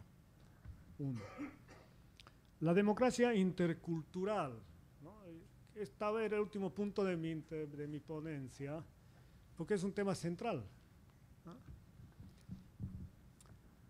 ¿Cuál, que es, no están las novedades del proceso boliviano? Yo las, hay tres términos para eso. Uno es el Estado plurinacional, se puede discutir extensamente eso, pero es Estado plurinacional. En el sentido de que ya es sentido común pensar la nación a partir de la diversidad. Se acabó. Hace 30 años pensábamos la nación en términos de homogeneidad cultural, de castellanización, eso es evidente. Hoy día no podemos pensar sino a partir del reconocimiento de la diferencia. Ahí el desafío es la igualdad ciudadana en el marco de la diferencia. Y la democracia intercultural va, es, bueno, ciudadanía multicultural, Estado plurinacional va ligado al reconocer esta diferencia a la ciudadanía multicultural, porque se reconoce, es una ampliación del sistema de derechos con incorporación central además de los derechos colectivos y la creación de este sujeto portado de derechos colectivos que son las naciones y pueblos indígenas, originarios, campesinos que, entre otras cosas, modifica la relación con el Estado a partir de pautas territoriales, voy a hablar de eso más adelante. Estado plurinacional, ciudadanía multicultural. Tercero, democracia intercultural. Ampliación de la democracia, incorporando instituciones de democracia participativa y directa, se han dado en varios países, en Ecuador, en Venezuela, en, Venezuela se llama protagónica, ¿no? en Ecuador era de ciudadanos, existía antes en el Uruguay, hay múltiples formas. El caso boliviano es el único caso donde se reconoce formalmente y se institucionaliza y se incluye a la estructura del Estado a la democracia comunitaria. Expresión 7, se puede discutir si tienen que ser 7, pasar a 9, a 16 o 36, ese es un tema distinto, pero el hecho de que se nombra siete representantes a partir de un criterio identitario y por su población, por la población que responde a ese criterio identitario. son los siete diputados de circunscripción especial indígena. Ahí es interesante, es intercultural porque se nombra por criterio identitario, se los elige candidatos por usos y costumbres, pero se, se elige mediante el voto secreto. Ahí están las articulaciones. Segundo, son las autonomías indígenas. En estos niveles subnacionales tenemos autonomía departamental, autonomía eh, municipal, que es de, del pasado, y autonomía indígena, que es la novedad. Yo también pienso que yo hablo, siempre he insistido en la idea de la construcción minimalista del Estado, nunca digo si esto es bueno o esto es malo, ahora lo digo, me parece bien que sea minimalista y que sea incremental, o sea, que avance lentamente. No tanto como está ocurriendo, porque aquí ha habido eh, obstáculos del Tribunal Constitucional respecto a la vigencia de los estatutos y la convocatoria de los referendos para aprobar los estatutos. Y yo caí en una falacia, en, en un error de interpretación cuando decía, ah, solo siete diputados indígenas y por lo tanto 5% de la Cámara de Diputados, qué poquito. Pero eso es más poquito si vemos las autonomías indígenas, es 3%, 11, 11 municipios de autonomía por referendo, de 368, así es, y de esos solo cinco han hecho su estatuto. Y de esos solo tres han aprobado. Y después yo agarré, agarré eso y dije, y vamos a ver cuáles son. Y resulta que hay uno, solo Charagua. Autonomía indígena de Charagua es el municipio más grande de Bolivia. Y es casi un tercio del territorio de Santa Cruz que va a funcionar en su momento con su gobierno constituido a partir justamente de una lógica deliberativa, porque así, es, en ese lugar han resuelto, han utilizado sus reglas y han creado una estructura de gobierno que es distinta. Distinta de los Uruchipaya, que es mucho más cerrada porque es una comunidad más pequeña, y dependerá la escala Ahí, por lo tanto, tendremos diversas formas de gobierno de acuerdo otra vez a la diversidad cultural y también al tamaño, al territorio que está en juego. Y está bien que avance lentamente, pero que sea, digo, para que ¿no? Y habrá que ver después el desempeño de esas nuevas instituciones para que sean más eficaces que las anteriores y punto. Pero eh, ahí está donde está, ahí está avanzando. Pedro decía, bueno, pero entonces aquí, esto uno puede decir, a la yo ahora estoy pensando a partir justamente de los comentarios y preguntas de ustedes. Entonces, ah, y eso no es descolonización, y ahora diría sí. Y otra vez, ¿por qué pensar la descolonización como otra vez ruptura? Y no como proceso, y también proceso incremental. No será descolonización en el sentido de que se desmonta unas instituciones y se las pone otras, no, se las combina. Porque rato que habrá otra vez articulación vertical, habrá alguna forma de colaboración entre autonomía indígena con esas formas de organización de sus gobiernos, con la autonomía departamental que está bajo otra lógica. Entre paréntesis, en las autonomías departamentales, en los gobiernos departamentales, en las asambleas departamentales, hay más presencia, en algunos casos, de representación indígena que en el, la Cámara de Diputados. Varía del 5 al 15%. Y el único estatuto autonómico aprobado se incrementó el número de representantes de los pueblos indígenas en la Asamblea de Pando. Eso es posible que vaya ocurriendo a medida que pase el tiempo. Pero si lo que no implica, Entonces, eh, entonces no es que otra vez se ha dejado de lado, se está avanzando, de, creo que de, eh, de, otra manera. Yo no comparto la idea de que aquí estamos otra vez en la redición, de, en los hechos es de la paradoja señorial. A otra vez, eh, bajo el, la, eh, la máscara del MAS, bajo el discurso plurinacional, vuelven los de siempre a, ¿no? a lo Ni tampoco me iría la idea de, que decía Fernando de que sean el ha deglutido a los empresarios ni el MAS ha deglutido, ni los empresarios, ni, los, eh, ni las élites utilizan al MAS para reproducir su poder. Yo creo que ya han cambiado esas, esas relaciones, pero insisto, habrá que ver las elecciones de 2015 para ver eh, políticamente qué efectos se va a tener en la representación, en la representación política. Isidoro plantea un tema central, ¿no? O sea, ya concentración de poder, ¿qué pasa, reducción ¿qué pasa con el antagonismo político? Se reduce el antagonismo político, eso es un dato positivo porque eso implica lo que tan, de lo que tanto hablábamos hace 20 años en el país. Gobernabilidad. ¿Cuál era la principal, cuál era la principal preocupación antes de la política? Lograr estabilidad. Y esa era gobernabilidad, era la palabra. Ahora hay gobernabilidad, más gobernabilidad, estabilidad, gobernabilidad, perfecto. Ahí aparecen otras demandas porque se ha resuelto ya un problema y ahí viene esto de la deliberación. ¿Dónde, dónde hay espacios de deliberación? Si hubiera una eh, brecha, una distancia entre Estado, gobierno, partido de gobierno, eh, sectores sociales, base social y demás, sí hay uno podría pensar hay que crear espacios de deliberación. Cuando es posible encontrar justamente muchos espacios de deliberación formales e informales, la cumbre social, sobre eso preguntó Rocío, es la creación de un espacio informal que antes no había. Pero que uno puede decir, es, si tiene el formato casi de un ampliado de la COP, sí, eso era antes, ahora vienen otros sectores sociales, convocados por el gobierno, donde intervienen para plantear sus demandas y una discusión. Salieron eh, no sé cuántas eh, determinaciones, casi 100 de la cumbre social que implicó aprobación, no sé, de treinta y tantas leyes, ¿no? 70 y que implicaba la aprobación de varias leyes y demás. Esto, esto otra vez era la búsqueda de una metodología distinta para buscar justamente definir la agenda en...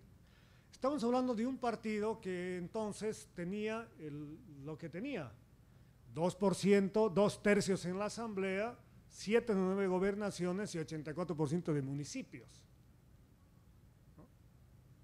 Y resulta que porque justamente la propia autonomía de acción de, sectores sociales, de ciudadanos, pone límites a eso, entonces tiene que buscar otros, otros eh, canales. ¿no? Sé, eh, yo decía que tal, dependiendo cómo se distribuye el poder regionalmente, se abran posibilidades de una, eh, de una colaboración en la gestión entre gobiernos centrales y gobiernos regionales y es posible que eso vaya a crear condiciones de deliberación en el sentido de un intercambio discursivo donde se toma en cuenta también las opiniones, digamos, del otro, tanto desde abajo respecto al gobierno central como del gobierno central respecto a los gobiernos eh, subnacionales. Gracias, Fernando. Perdón, dame un segundo más. O ya no hacemos otras rondas, ¿no? sí, tenemos otras rondas. Puedes completar. Son 10 que están anotados ya. perdón, voy a entonces uh, solamente los puntitos que no entran. Eh, no suscribo la idea de que ha habido fraude, no conozco denuncia formal sobre fraude, ¿no? Eh, yo no estoy hablando, y no tiene que reírse de mi comentario porque estoy dando un argumento respecto a una caracterización del proceso electoral.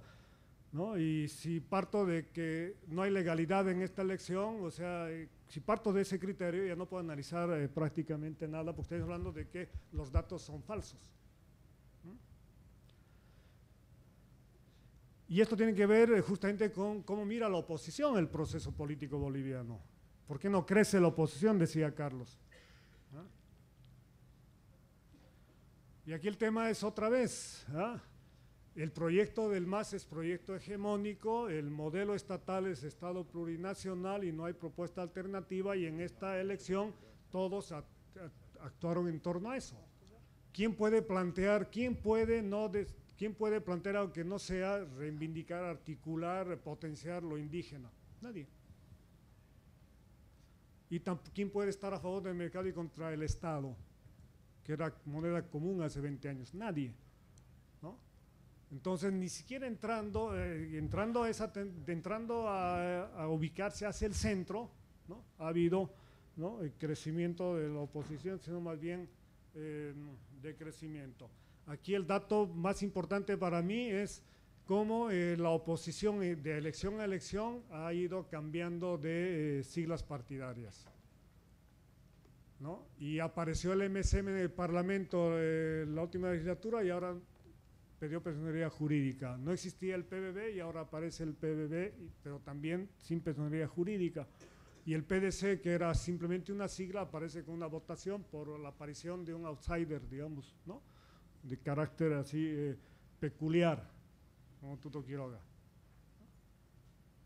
Y lo único persistente es UN, y el más, obviamente, y UN. Pero UN esta vez aparece en el marco de una coalición, donde su otro aliado es el partido más flamante que tenemos, que es el MDS.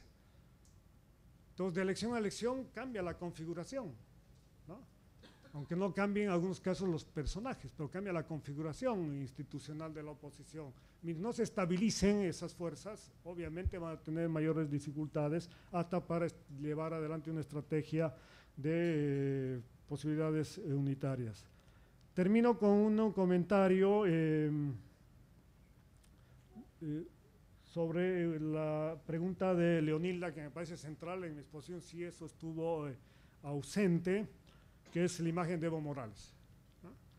Y este es un elemento que distingue muy claramente este proceso del proceso de la Revolución Nacional de los años 50 parte de la continuidad de esta idea de vamos a ver la continuidad histórica ahora en este proyecto es recuperar también el nacionalismo revolucionario, por supuesto. Así como en Argentina todos son peronistas, aquí todos somos nacionalistas revolucionarios de alguna manera, porque no hay otra manera de pensar la construcción de Estado si este es el, ¿no? el desafío principal. Y el MNR funcionó ¿no? sobre la base de una competencia entre por lo menos cuatro líderes. Y el resultado fue cuando uno de ellos rompió el pacto entre líderes en la élite política, todos acabaron aliándose contra Víctor Páez Tensoro, golpe de Estado y se cerró el ciclo de la Revolución Nacional. Aquí tenemos un liderazgo incontrastable, que unifica, pero es un liderazgo que unifica al partido, al movimiento, pero además representa todo esto que estamos hablando y con esto termino, donde lo indígena, otra vez, ya, se ha resuelto el clivaje étnico, ya no podemos pensar en oposiciones indígena no indígena. Ahí voy por lo que decía Adolfo, ahora lo indígena, o sea, se ha vuelto sentido común. Y segundo, ya es parte de las políticas públicas. Y por lo tanto, ya no podemos usar como criterio para diferenciar las relaciones, porque es, Evo Morales, entre otras cosas, además representa eso, y a lo que habría que sumar ¿no? es la imagen internacional que tiene, ¿no? el, discurso que maneja en la escena global, donde aparece representando justamente lo indígena. Porque además es fuerte esa faceta, pero no es la única otra vez. Por lo tanto, no es la única, nunca fue la única y por eso es que no había proyecto original. Está en construcción. Y en esa búsqueda, obviamente, tiende a articular todos los elementos de ahí decir a dónde va, es. La incertidumbre, pero ya no hay modelo de Estado alternativo, ya no hay retorno, obviamente, a un esquema neoliberal. Eso en el mediano plazo está más o menos, creo que claro para todos. Gracias, Fernando. Creo que es evidente para todos el interés que tenemos en seguir profundizando el tema, por eso nos hemos extendido bastante y todavía tenemos un tiempo, pero quiero recordarles que todavía tenemos pendiente una otra mesa hoy mismo en la tarde y una mesa redonda esta noche, o sea que todo está muy apretado. Aquí mismo va a ser. La mesa redonda. La mesa redonda va a ser acá, ya no en la universidad por si acaso. Recordarles. Pero bueno, el tema es que estamos cortos de tiempo. Eh, les voy a pedir, ahora sí tenemos la lista, la segunda lista, dos minutos y medio cada intervención. Y vamos a intentar ser estrictos porque después vamos a apretar todo. Bien, Rebeca Delgado inicia por favor con la lista. Gracias. Bueno, primero que yo creo que Fernando em, ha denominado de manera muy elegante el tema de giro programático del MAS, me parece muy elegante y me parece bien, no me parece mal, pero me parece muy bien eh, el haberlo denominado así, como también lo ha denominado el tema de candidatos o candidatas con otros perfiles, o sea, no se trata de perfiles, y ahí podríamos hablar muchísimo sobre si hay o no cohesión ideológica en lo que va a ser la bancada del movimiento al socialismo y bueno, ahí ya hay mucho que hablar. A mí me parece muy elegante esos dos términos que bueno, sabemos qué significan, pero que bueno, en debates como este yo creo que hay que nomás tratar de, darle los nombres. El tema yo que quisiera que podamos analizar y quisiera tener una respuesta de Fernando, Primero que nos damos cuenta, eh, bueno, el evento es resultados postelectorales, perfecto, pero nos damos cuenta que no solamente la democracia se reduce a un tema de proceso electoral, sino a varios temas, ¿no es cierto? Muchísimos temas más que tienen que ver con la institucionalidad, que tengan que ver con la justicia, etcétera, etcétera, ¿no es cierto? Y ahí, eh, con los datos que se tienen del 2005, 2009 y 2014, eh, si bien hay una victoria, lo cierto es que el 2005 estaban iniciando en gobierno, el 2009 había conflictos y el 2014 dicen se consolida pero baja tres puntos. O sea, ¿dónde está em, la ganancia? Y ahí es donde pregunto a Fernando, ¿cómo podemos evaluar esto que dice que ha crecido en Oriente y ha decrecido en Occidente, que es con menos incidencia, pero en realidad el porcentaje es menor? O sea, ah, no estaban en gobierno, ha habido conflictos del 2009, pero en realidad lo que se ha hecho es bajar el porcentaje con varios elementos que los podíamos dar, gestión, recursos económicos, eh, etcétera, etcétera, etcétera. Ahí también estoy siendo elegante como Fernando en lo etcétera, etcétera, etcétera, ¿no ve? Entonces, ¿cómo es posible que más bien se baje ese 3% y cómo, eh, ahí quiero que veamos y se haga un análisis, cómo ese 3% más bien ha ido a parar a la oposición. Entonces, ¿cuál es el éxito? ¿Cuál es la victoria? Si eh, en términos comparativos nos damos cuenta que no está así. Y lo último, por favor, que, lamentable que en la primera ronda que pedí la palabra no, no pude intervenir. Solamente dos semitas, eh, porque creo esenciales no son banderas el tema de la plurinacional, no son eslogans el tema de lo plurinacional. Y no puede decirse, se va a cambiar, está en construcción, así, porque he sido constituyente. Y resulta que esa era la visión ideológica, que de repente todavía no se ha entendido, pero que no se puede decir que ahora se está dejando como si, bueno, hoy día he puesto en la Constitución y mañana estoy en construcción y lo dejo. No son eslogans. Esa ha sido la lucha que hemos tenido en la Asamblea Constituyente y lo que tendría que ser. Y lo último, porque le he escuchado decir a Fernando cuando estaba entrando, y para que nos demos cuenta en democracia, cómo a veces las cosas no se hacen como debe ser. Me salí un ratito por entrevista y, entré y le escuché hablar de Charagua. Y, y sí, perfecto, así la, la autonomía, pero le cuento, Fernando, que hace dos días hemos aprobado la ley transitoria electoral y los pueblos indígenas han dicho que no estaba Charagua representado y no está. En la ley que acabamos de aprobar hace dos días, ley transitoria electoral de los gobiernos subnacionales, no está Charagua. Sin embargo, desde que se reclamó en la Cámara de Diputados. Y lo último con relación a mujeres. Y ahí quisiera, no sé si están del Tribunal Supremo Electoral, una buena y una mala. La buena, y creo que hay que felicitarlos, no sé si está Dina o ya se ha ido, o el señor Marco, me parece excelente la fórmula que ha garantizado paridad y alternabilidad, me parece excelente. Pero la mala es que nos necesitamos garantizar, ahora creo que ya se han ido, ojalá que hubiera un espacio, que se haga depuración del padrón electoral. Si no se hace depuración del padrón electoral, como temas reales, y ahí le cuento, Fernando, tema real, porque no es un tema así, ¿no? Tema real, han votado muertos. Gracias, Rebeca. O sea que ese, esa peticioncita que vaya para el Tribunal Supremo. Gracias. Gracias. Pablo de esa, por favor. Muchas gracias. Este, querido Fernando, primero felicitarte por la exposición y eh, voy a intentar hacer un ejercicio de síntesis, así que eso significa que, que voy a asumir los riesgos que eso implica. Tres, tres, tres elementos, discursividad, modernidad y, e inclusión pareciera, a partir de lo que se observa en el debate político, que el primer requisito para poder hablar en el campo político nacional de una manera creíble es asumir una agenda genuinamente inclusiva. Digo esto porque efectivamente, históricamente es lo primero que se ha dado, la lucha por la inclusión. Y ahora, en este momento, el gobierno efectivamente, el MAS ha dado un giro hacia la modernidad.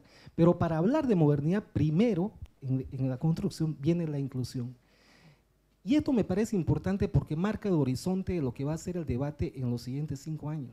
Es decir, eh, en la medida en que esto es así, se, vamos, se está yendo hacia un, hacia un debate sobre la modernidad, pero, pero, sobre la base de la modernidad construida desde esta plurinacionalidad, desde este sentido de lo popular. Por eso me parece y me llama la atención que el gobierno efectivamente cuando habla de la Agenda 2025 resulta creíble. Y en contrario, la oposición, que está que, donde están incluidos los que tradicionalmente representaron a la modernidad en Bolivia, más bien no resultan creíbles en, en ese mismo discurso. Es más, tanto es divertido esto, ¿no? Que de pronto se empiezan a oponer al satélite, se empieza a oponer aquello, a esto, a aquello, y más bien parecen estar asumiendo una agenda antimodernidad. Es una suerte de paradoja que, habría que explorarla. ¿Cómo va a repercutir esto en el, en el, debate político en las subnacionales? Por ejemplo, ¿será que el gobernador Rubén Costa puede plantearse un, un, horizonte discursivo por fuera de la Agenda 2025 propuesta por el gobierno? Yo creo que no hay posibilidad en la medida en que el, MAS uh, ha asumido una agenda de esta naturaleza, de esta magnitud, de formular una, una discursividad alterna, por lo menos por los, en, en, la siguiente década. Así de simple. No, no veo, digamos, un campo de posibilidades. Uh, no veo disponibilidad tampoco de elementos de, eh, que signifiquen movilidad y credibilidad entre la, el conjunto del sentido común que vos has denominado, el conjunto axiológico que se ha impuesto. Por lo tanto, creo que estamos yendo hacia un debate de, sobre la modernidad desde lo plurinacional y lo que va a marcar el debate y lo que debería preocuparnos es qué sentido de modernidad es, es ese hacia el cual estamos yendo, cuáles son sus límites internos y externos, cuáles son sus características. Muchas gracias. Gracias, Pablo. Charlie Bert.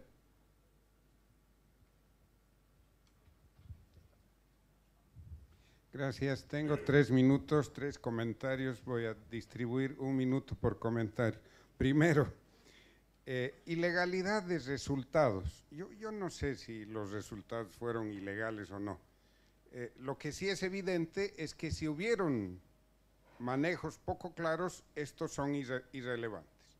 No alcanzan a, a cuestionar ni la eh, legitimidad ni la legalidad de los resultados electorales. Por lo tanto, eh, insistir en este tema eh, no parece tener eh, buen destino ni, ni, utilidad. Segundo comentario. Em, a ver, cifras. Mm, las cifras relativas no son las mejores porque son eso, son relativas.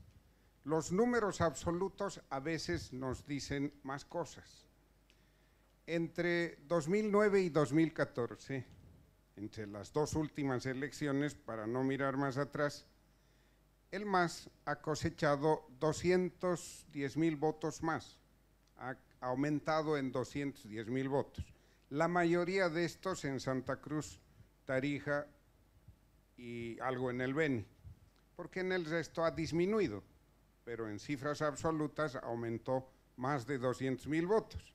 La derecha, eh, comparando convergencia más unidad nacional con los votos de unidad democrática de hoy, porque son, los dos son lo mismo, ha disminuido 200 mil votos en estas dos elecciones.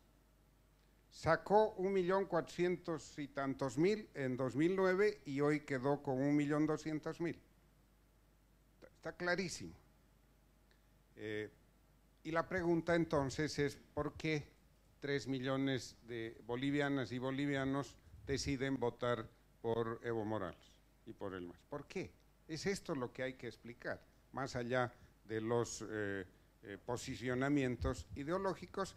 Ahí es que está claro, primer factor, no voy a hacer una eh, una calificación de valor. No voy a hablar de la calidad de la gestión pública. Para relativizar, diré la percepción popular sobre la gestión pública es lo que le da colchón electoral a Evo Morales.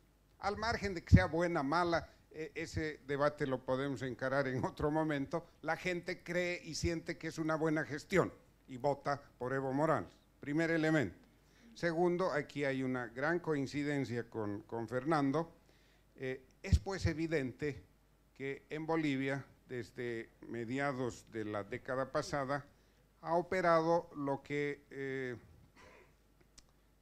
Estás en tiempo, Chali. Ya estoy en tiempo, Uli. Ya, la, reforma intelectual, hay una reforma intelectual y moral en curso, cuyos, cuyos pilares son pensar el país en diversidad. Eso ya está ahí adentro y la gente piensa así, aunque todavía este mundo axiológico no se traduzca en políticas públicas efectivas. Ha cambiado la superestructura cultural e ideológica de nuestro país y eso es irreversible. Y termino con la democracia intercultural. Aquí tengo un, eh, eh, algo no comparto con Fernando. Yo no creo que las siete diputaciones especiales y las autonomías indígenas sean expresión de la democracia intercultural. No, son expresiones del Estado plurinacional, no de la democracia intercultural. Y yo soy uno de los que sigue dudando cada vez con más fuerza de si existe una democracia intercultural. ¿Qué es la democracia intercultural? La ley y la práctica nos dice que es la suma de los tres, democracia representativa, comunitaria y directa. Pero ¿dónde está lo inter? donde hay un fenómeno, un, fruto eh, democrático que salga de la combinación de los tres. No existe lo inter. Ni siquiera estas diputaciones indígenas se eligen con voto eh, y mecanismos representativos, no con democracia directa. Eh, y termino con lo siguiente. Sí, coincido también, es evidente que el más ha girado al centro, y voy a lanzar una hipótesis que yo mismo me asusto de esta, pero creo que es tiempo de que hay que debemos comenzar a pensar. Las coincidencias de las fracciones de la burguesía cruceña con el gobierno El MAS, que facilitan su acercamiento, me temo que van más allá de los simples intereses comerciales entre esta burguesía y la burguesía comercial de origen aymara y quechua de La Paz, Oruro, Cochabamba, etc. Va más allá, y aquí va la hipótesis que me asusta. Ambas fracciones de la sociedad boliviana tienen el problema de la tierra.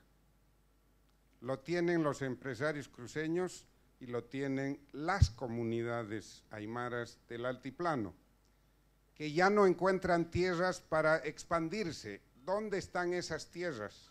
En poder de los pueblos indígenas de tierras bajas, que gracias a la política de las tierras comunitarias de origen son hoy propietarios de más de 40 o más de 50 millones de hectáreas.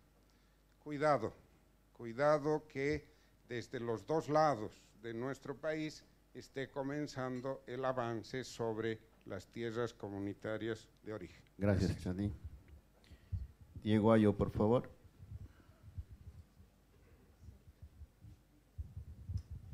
Bueno, mis tres minutos, voy a hablar muy rápido para aprovechar bien. Eh, lo que tengo, definitivamente no quiero dejar el matiz de que, de que todo fue absolutamente transparente en la elección. Me parece un poco peligroso a futuro dejar esta sentencia. Yo creo que el autoritarismo implica no competencia, la democracia implica competencia y lo que tenemos en Bolivia es sí competencia, por supuesto que sí, con democracia, pero una competencia un tanto desigual, ¿no? es decir, con intimidación, con un tribunal bastante pobre, juzgado desde afuera, con eh, clientelismo institucionalizado, con programas que duran no solamente un mes antes de la elección, sino cuatro años. Me parece muy, muy tibia una posición que no vea todo este paisaje, se dé cuenta que definitivamente competir no es fácil. Y no digo que antes lo era. Antes posiblemente tenías eh, elementos de plutocratización del sistema, concentración mediática, de todas formas monopolio de la representación. Es decir, sí, todo esto existía. Pero hoy esto esto, yo digo que se consolida, ¿no? Se consolida y pasarlo por alto es muy peligroso. Es decir, uno lo ve simplemente en los datos mediáticos. Es decir, 16 veces más de publicidad de los medios para el oficialismo que para toda la oposición junta. Es decir, no es pues esto equitativo. Pero solamente, ese era mi comentario muy rápido para, para no dejar tampoco la estela de que ha habido fraude. No creo que haya fraude y en todo caso será de uno o dos puntos. No creo que sea el punto, pero es parte de un combo. Es parte de un combo de medidas que tienen que ver con una democracia a medias. Pero lo central para mí tiene que ver con el concepto de, de Fernando, que nos habla de un giro programático. Esto suena estrambótico, elegante y bonito, y no tiene nada de giro programático. Es el momento de mayor desprogramatización de este gobierno, de mayor desideologización. Es decir, de que todo vale, es decir, contentar a todos, a empresarios y contentar a indígenas simultáneamente se puede. Es decir, ley de restitución de bosques, contentas a los empresarios, pero al hacerlo lo estás contentando a los indígenas que eran tú. Eh, es decir, si uno va viendo uno por uno se da cuenta que este gobierno profundamente ha logrado consolidar leyes antiindígenas, de ley de deslinde jurisdiccional, ley de autonomías, ley de restitución de bosques, eh, es decir, son muchas, son muchas. Y el contenido antiautonómico lo ha analizado muy bien Charlie en un, texto donde incluso el decreto de vivienda está centralizado ni qué decir de la ley de juegos de azar, que termina profundamente centralizadas. Entonces es un discurso antiindígena, anti-antionómico y profundamente extractivista. Giro programático, ¿dónde? estamos, estamos preservando los rasgos profundamente conservadores, ¿no es cierto? Que si no los vemos bien, obviamente termina siendo un análisis de autocomplacencia. No nos damos cuenta que esto va a terminar haciendo periclitar este proceso. Estás en tiempo, Diego. Muchas gracias. Shirley, por favor.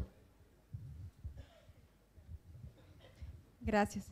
Yo solo quiero hacer dos apreciaciones eh, a la exposición de Fernando que creo que se deberían de eh, tomar en cuenta respecto al escenario postelectoral. Eh, una cosa es evidente, más allá de si ha habido o no el fraude, sí existe la sensación del fraude, que definitivamente deviene de la conducta que ha asumido el Tribunal Supremo Electoral a lo largo de la contienda, que hace referencia a, a la no diferenciación del rol entre un candidato y el presidente. Y finalmente, a la falta de acceso al padrón biométrico, a la falta de transparencia de esta información, mínimamente por las tiendas políticas que estaban participando de esa contienda.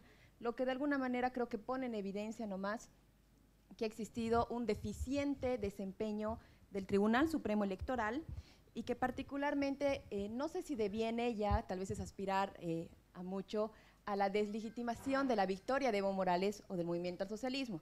Pero una cosa sí es clara, existe eh, una incredulidad de los ciudadanos de que si la victoria realmente se ha traducido a los dos tercios, tanto en la Cámara Alta como en la Cámara Baja del eh, movimiento al socialismo. Y finalmente, sí existe un escepticismo de todos los bolivianos respecto a los resultados del 12 de octubre. Por tanto, es nomás una falta de credibilidad al, al desempeño del Tribunal Supremo Electoral.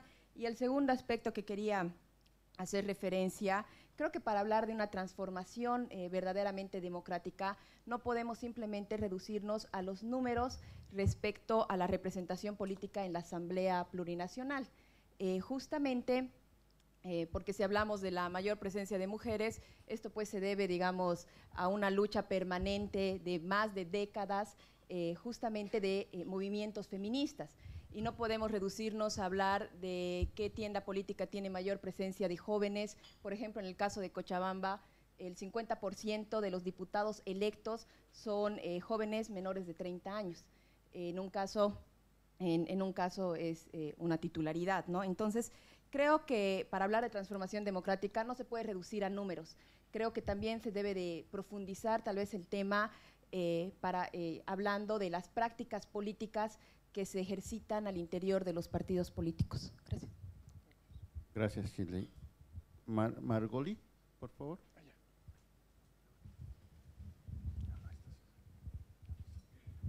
Buenas tardes. A ver, nosotros eh, creo que vamos envejeciendo de haber vivido, eh, haber sufrido cómo este país se desarticuló y se quedó en un montón de rompecabezas que no había por dónde empezar a construir. Y cuando dicen dónde se encuentra el resultado, para la oposición es difícil aceptar el resultado en las urnas. Ese es el resultado.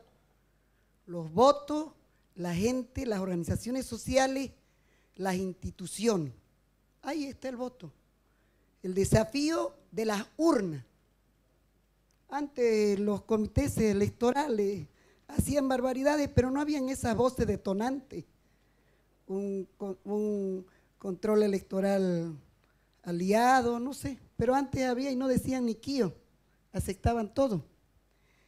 A ver, una de las cosas que debemos enmarcarnos es que en el oriente boliviano, sobre todo en Santa Cruz, no han venido los collitas a votar aquí.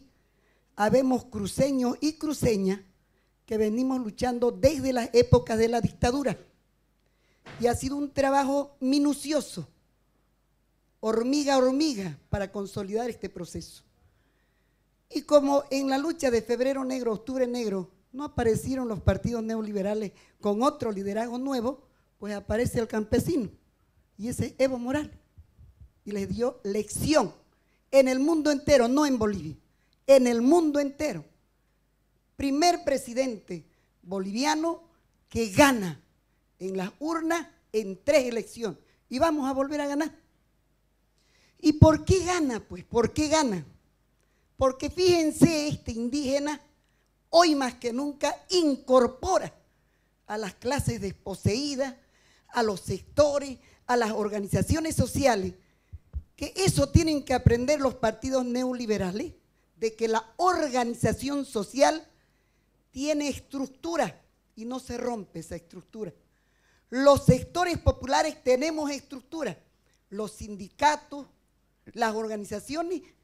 ¿Y qué le vamos a decir ahora? Está la Central Obrera Boliviana, están las federaciones de todo el país.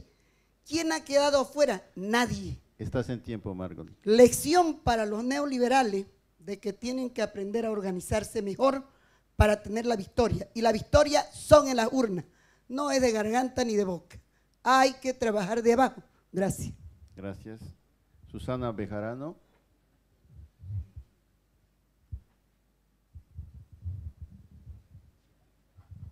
Bueno, buenas tardes. Yo quería en realidad preguntar el anterior bloque, pero bueno, el micrófono me ha tocado recién.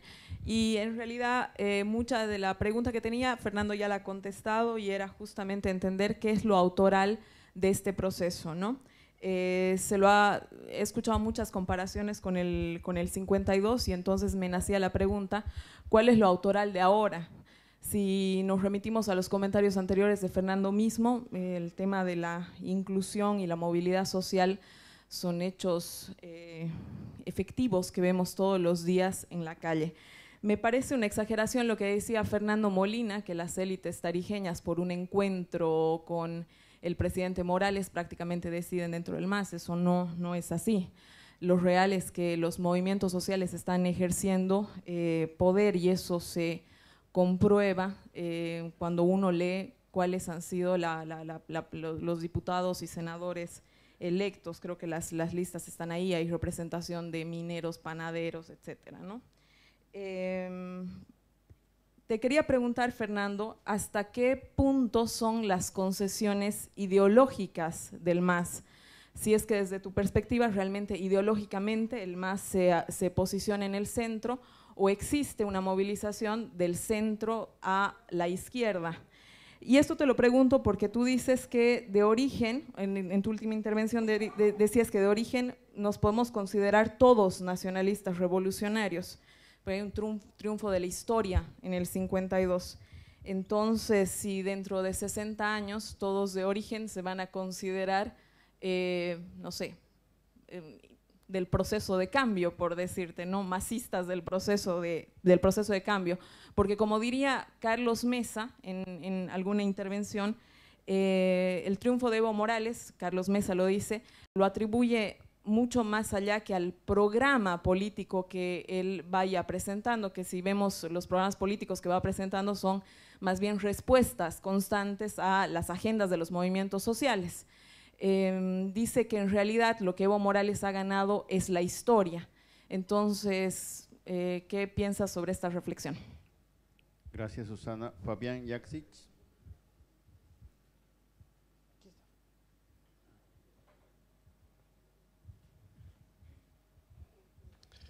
Bueno, algunas afirmaciones de Fernando que quizá habría que matizarlas un poquito. Esto de que hay competencia pero no competitividad. Yo creo que lo que menos hay es competencia, se lo ha demostrado el hecho de que eh, no haya ni tradición ni obligatoriedad del debate presidencial, por ejemplo, como en el Brasil hubiera sido sano que Evo Morales debata. Pero bueno, hace nueve años que no lo hace, es parte de su estrategia, pero no hay competencia ahí. Yo quisiera que puedas eh, matizar un poquito esto, eh, porque puede ser una afirmación que no sea muy adecuada a la realidad. Si el triunfo de Evo Morales se debería a las cumbres sociales, ahí también me parecería extraño que, por ejemplo, la cumbre social de salud, que nunca se realizó, eh, no, no ha sido un factor que yo creo que haya incidido en el triunfo. No sé si te entendí bien que puede ser uno de los factores. Ha hecho cumbres sociales, más parecían encuentros del entorno del presidente, pero en un tema clave fracasó y no hubo, no hubo tal. No parece ser la razón del triunfo. Cuando el amigo Adolfo, y voy a opinar también lo que otros hablaban, Adolfo decía de que, bueno, se logró que en promedio hayan más jóvenes hoy en la asamblea, hayan más mujeres con el mejor deseo de mi, de, este, mi alma por lo que he conocido estos cinco años, ojalá no sean los mismos levantamanos de estos últimos cinco años, porque no los hace mejores ni peores el tener más jóvenes como promedio o tener mujeres si van a nomás a levantar la mano sin pensar. Em, no es posible que por lo menos quizá por el hecho de que creo que es cofinanciador el órgano electoral, no se diga algo sobre el órgano electoral. Me parece terrible que en el análisis de Fernando se haga una abstracción a esta incompetencia del órgano electoral, pero ya que raya en vergüenza ajena, no solamente desde la papeleta, porque claro, si fuéramos exquisitos, hemos elegido diputados y senadores del Estado plurinominal, que tampoco existe, un árbitro mudo, sordo, ciego, que creo que hay que valorarlo. Sería lindo, Fernando, que pudiéramos evaluar un poquito la ley del régimen electoral, qué es lo que está pasando, cómo está favoreciendo precisamente esta, este voto mayoritario hacia un partido que tiene un diseño, por, por supuesto, hegemónico y de, eh, y de dominio. Estás en tiempo. Y, y, finalmente el tema de la oposición. Lo ultimito, democracia comunitaria, decías, a la elección de los diputados eh, indígenas, de las circunscripciones indígenas. No estoy muy seguro si eso es democracia comunitaria, todos nos estafaron. Eh, para que lo pongamos, porque claro, es democracia representativa, pero bueno, estamos eligiendo una eh, caracterización especial, pero ahí quizá habría que matizarlo también un poquito, porque creo que afirmaste eso, que se trata de democracia comunitaria. Nada más para que se me aclare. Gracias. Claudia Benavente, por favor. Gracias. A ver si le gano al reloj del Juan Carlos Pinto, me voy a apurar. Tengo tres incertidumbres para compartir con Fernando.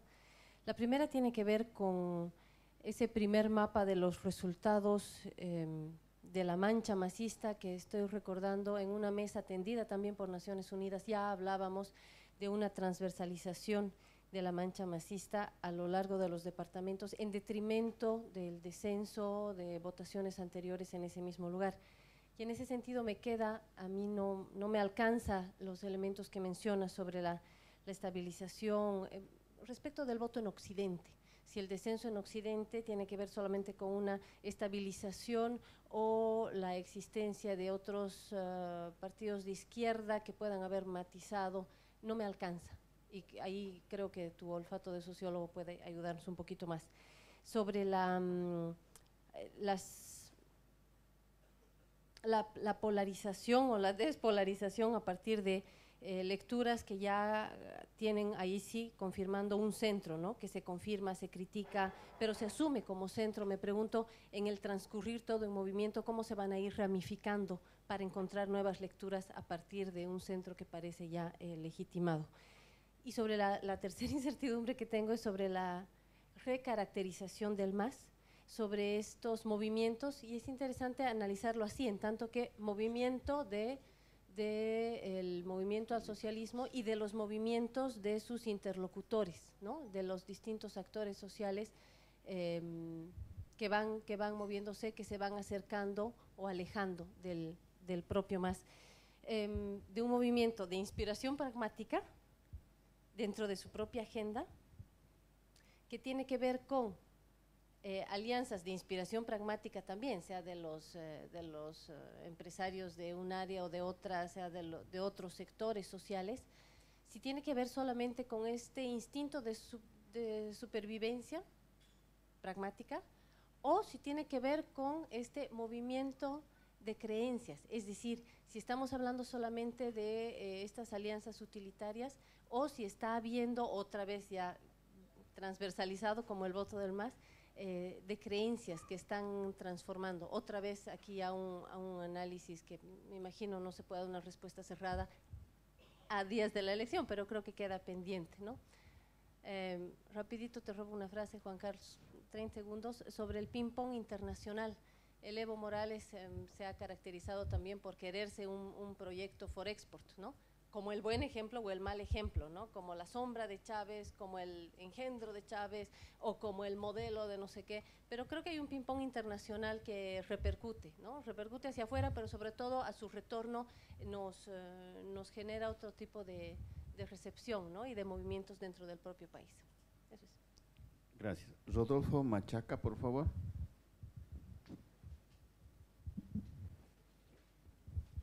Bien, eh, simplemente complementar, a ver, cómo analizamos el movimiento campesino en Bolivia. Eh, para nosotros, eh, en estas elecciones, ha sido un avance sustancial, donde de manera orgánica o estructural o cualitativamente se ha avanzado. Ahí, como reflejo, tenemos representantes muy importantes, y también cabe destacar también la Central Obrera Boliviana tiene su presencia a través de los gremiales, a través de los mineros, eh, ya lo han señalado, yo comparto con algunas versiones, y entonces eso es una profundización de la democracia. Otro punto eh, que quiero complementar también es esta votación, estas elecciones, eh, para nosotros ha reflejado la credibilidad de una representación indígena a través de Evo Morales. La credibilidad se ha profundizado. Entonces, eh, para nosotros es una cualidad este hecho. Y también ahí complementando, eh, podemos señalar, ¿no? la votación ha reflejado también el tercer momento de consolidación de insurgente del pensamiento indígena, catarista, como hace rato también mencionaron. Entonces, eh, para nosotros, esto eh, en nuestro territorio, en nuestro país, siempre la CESUD se ve pensando, visión de país, eh, es seguir avanzando en realidad. por otro lado, también hay que destacar en este proceso, eso hemos analizado también, consolidación de la democracia profunda a través de recuperación de empresas estratégicas o nacionalización de recursos naturales. No es todo, pero hay que seguir avanzando. O sea, en el marco de la soberanía, dignidad. Y por otro lado, eh, todos estos hechos nos convierte como actores, como sujetos históricos de este proceso. Para terminar, para terminar simplemente a la derecha o a la oposición, eh, simplemente reflexionar, puesto que está muy golpeada, tienen que cambiar su estrategia, ¿no? su táctica. ¿no? Y también, eh, también lo que nosotros hay que cuidar es eh, cuidado como después de 52 pueda elitizarse. Esa es nuestra preocupación también, pero ahí la estructura orgánica tiene que ser muy cuidadoso para cuidar este proceso con nueva visión que se ha hecho ¿no? a través que somos parte también eh, de esta estructura eh, política, de instrumento eh, por la zona de los pueblos. No simplemente eso, ¿no? y después agradecer. hay que seguir analizando, es el camino, o sea, Bolivia está entrando a una senda de proceso político. A otra cosita más, también a la derecha decir, el errorcito que ha cometido es utilizarnos a los indígenas y eso hay que tener mucho cuidado. Gracias. Gracias, Rodolfo. Fernando García, por favor. Sí, muy, muy rápido. Eh, hay dos asuntos que me provocan de la exposición de Fernando este, problemas. En gran parte comparto, creo que la descripción eh, institucional de la dinámica de cómo se eh, reconfigura el campo político eh, y toda la caracterización que nos presenta, me parece que no hay mucho por donde discutir. Sin embargo, hay en el concepto, bueno, yo identifico dos problemas que, que creo que pueden discutirse. Una es el giro programático, o sea, porque implicaría giro programático de alguna manera un cambio, un cambio de ruta. Yo más bien pensaría, eh, porque esto se contradice con el otro elemento que introduce también Fernando y que está en su libro, cuando se utilizan las dos estampillas. Antes la estampilla de vestido de indígena de Evo era más cara y la, y la estampilla donde aparecía con su saco de, de republicano era más barata. Y hoy aparece más cara la estampilla, estoy utilizando esta metáfora para dar esta idea, eh, es más cara la estampilla oficial que la estampilla de indígena. Entonces yo, yo creo que más bien lo que está sucediendo es una oscilación y gravitación más que giro programático. Es decir, las dos cosas están sucediendo al mismo tiempo, pero en determinado momento pesa más una que otra. Y creo que este es el tiempo en el que pesa más los asuntos que tienen que ver con el Estado-Nación. Y de ahí el nacionalismo, y de ahí la industrialización, etc. Pero no deja de ser y de ambicionar lo plurinacional, y no deja de ambicionar lo comunitario. Creo, eh, em, creo que esto es uno de los elementos que posiblemente pudiera matizar el tema de giro programático. Pero hay, otro elemento que me parece más eh, eh, provocador cuando uno eh, lee y escucha a Fernando, uno diría, pareciera que todo fuera discurso y pragmatismo, y que detrás del discurso y pragmatismo no hay sujeto, porque tampoco lo dice. Y a mí siempre me aparece la pregunta, ¿quién es el sujeto de este proceso de gestión hegemónica exitosa, por un lado, en términos de desplazamientos discursivos y oscilación, y en términos eh, también de construcción de intercambios políticos, muy exitosos? O sea, ¿quién es el sujeto?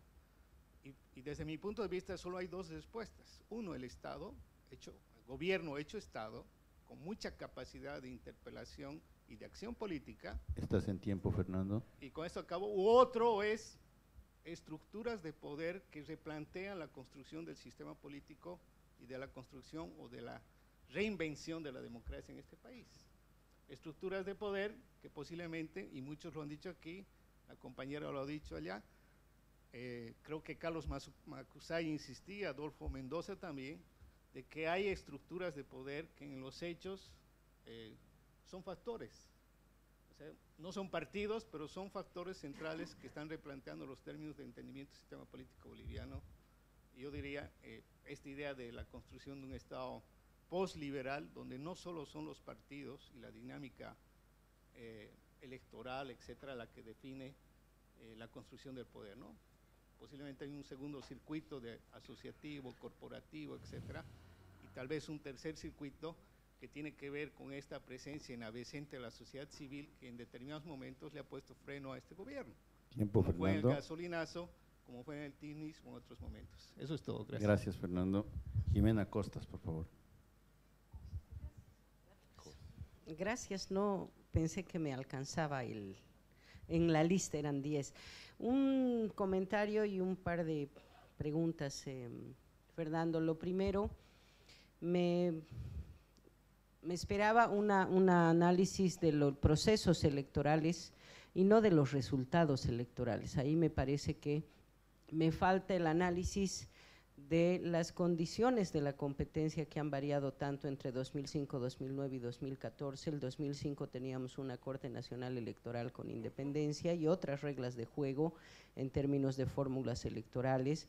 El 2009 ya con la nueva constitución y la incorporación del padrón biométrico que nunca se utilizó la biometría ni para depurar ni para el voto ciudadano y con cambios en las fórmulas electorales. Y luego en el 2014 no solamente ya con control del órgano electoral total, sino también control del aparato judicial para la persecución, del Ministerio Público, del Tribunal Constitucional para habilitar una tercera postulación inconstitucional y así sucesivamente, que cambia las reglas de juego, incluyendo las fórmulas electorales, la incorporación de escaños especiales indígenas. Todo eso me falta en el análisis porque ver solamente resultados sin ver el cambio en las reglas del juego me parece que es insuficiente y además falta un detalle que seguramente Margarita, eh, que no sé dónde anda, lo podrá explicar mucho mejor que los bolivianos, el control de medios de comunicación para la propaganda.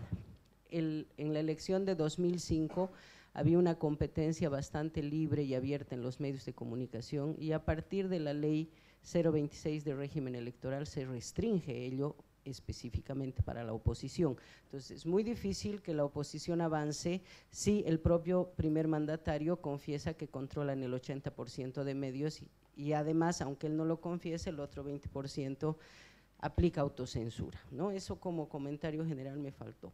Quisiera preguntarte ¿Cuál es tu opinión respecto a cultura política? Se han fortalecido en los últimos nueve años dos rasgos para mí bastante negativos de la cultura política boliviana, que son el prebendalismo y el caudillismo, y creo que están en su mejor momento y eso para mí tiene relación directa con el resultado electoral del MAS, quisiera tu opinión.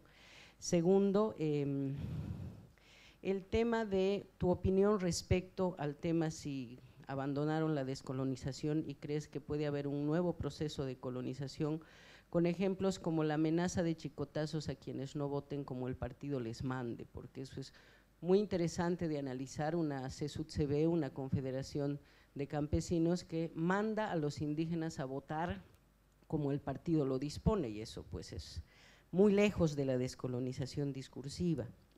y nada más, para terminar, eh, yo al giro programático en realidad le llamaría quitarse la máscara, nada más que eso. Gracias. Para finalizar, Hugo Moldis, por favor.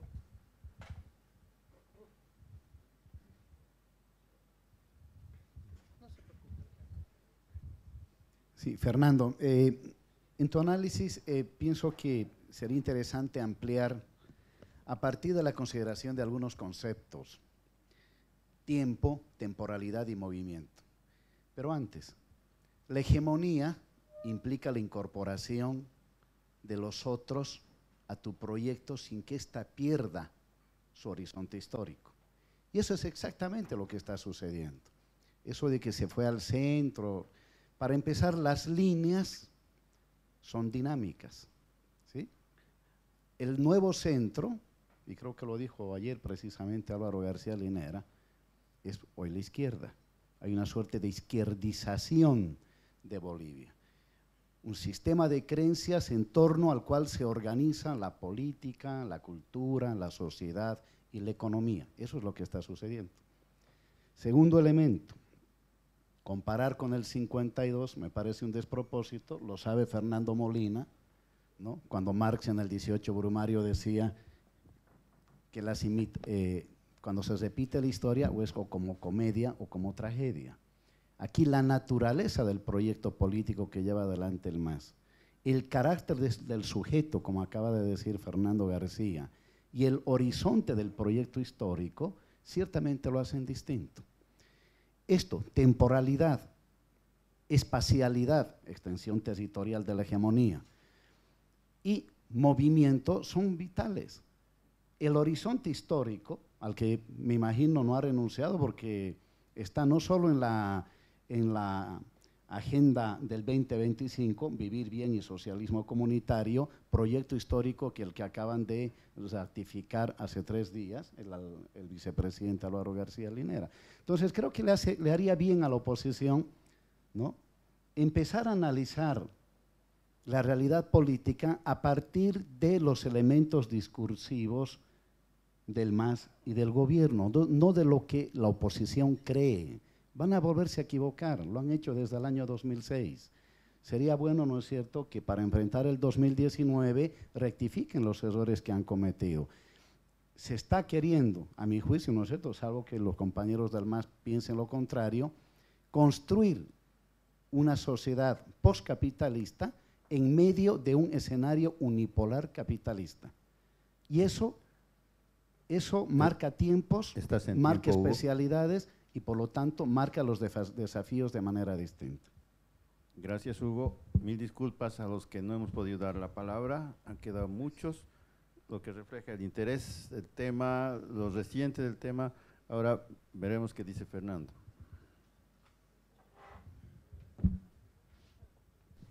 Eh, por un elemental eh, sentido de respeto por mis colegas, por Cisca Raventós que va a exponer sobre Costa Rica y por Francisco Caneo que va a exponer sobre El Salvador, casos nacionales de los cuales vamos a aprender bastante para pensar nuestra realidad. Yo digo, voy a pedir, eh, dejar, eh, tengo muchísimas ganas de responder, porque me han dicho elegante, tibio, eh, muchas cosas. Y muchas intervenciones más bien me, permite, me, permitirían, me van a permitir enriquecer en mi interpretación. Pero digo, tendría que responder otra vez por respeto a todos y eso va a llevar otra, por lo menos 15 minutos más. Y creo que es una falta de respeto con mis colegas. Entonces voy a pedir a Penut si algún rato organizamos un evento ya entre nosotros para seguir eh, conversando, pero quisiera más bien, Juan Carlos, que demos paso a las otras presentaciones porque tenemos las dos exposiciones y luego la mesa redonda. Gracias, Fernando. Inmediatamente pasamos a 15 minutos de intermedio. Un aplauso, muchas gracias. 15 minutos al refrigerio, por favor. Inmediatamente subimos para la segunda mesa redonda.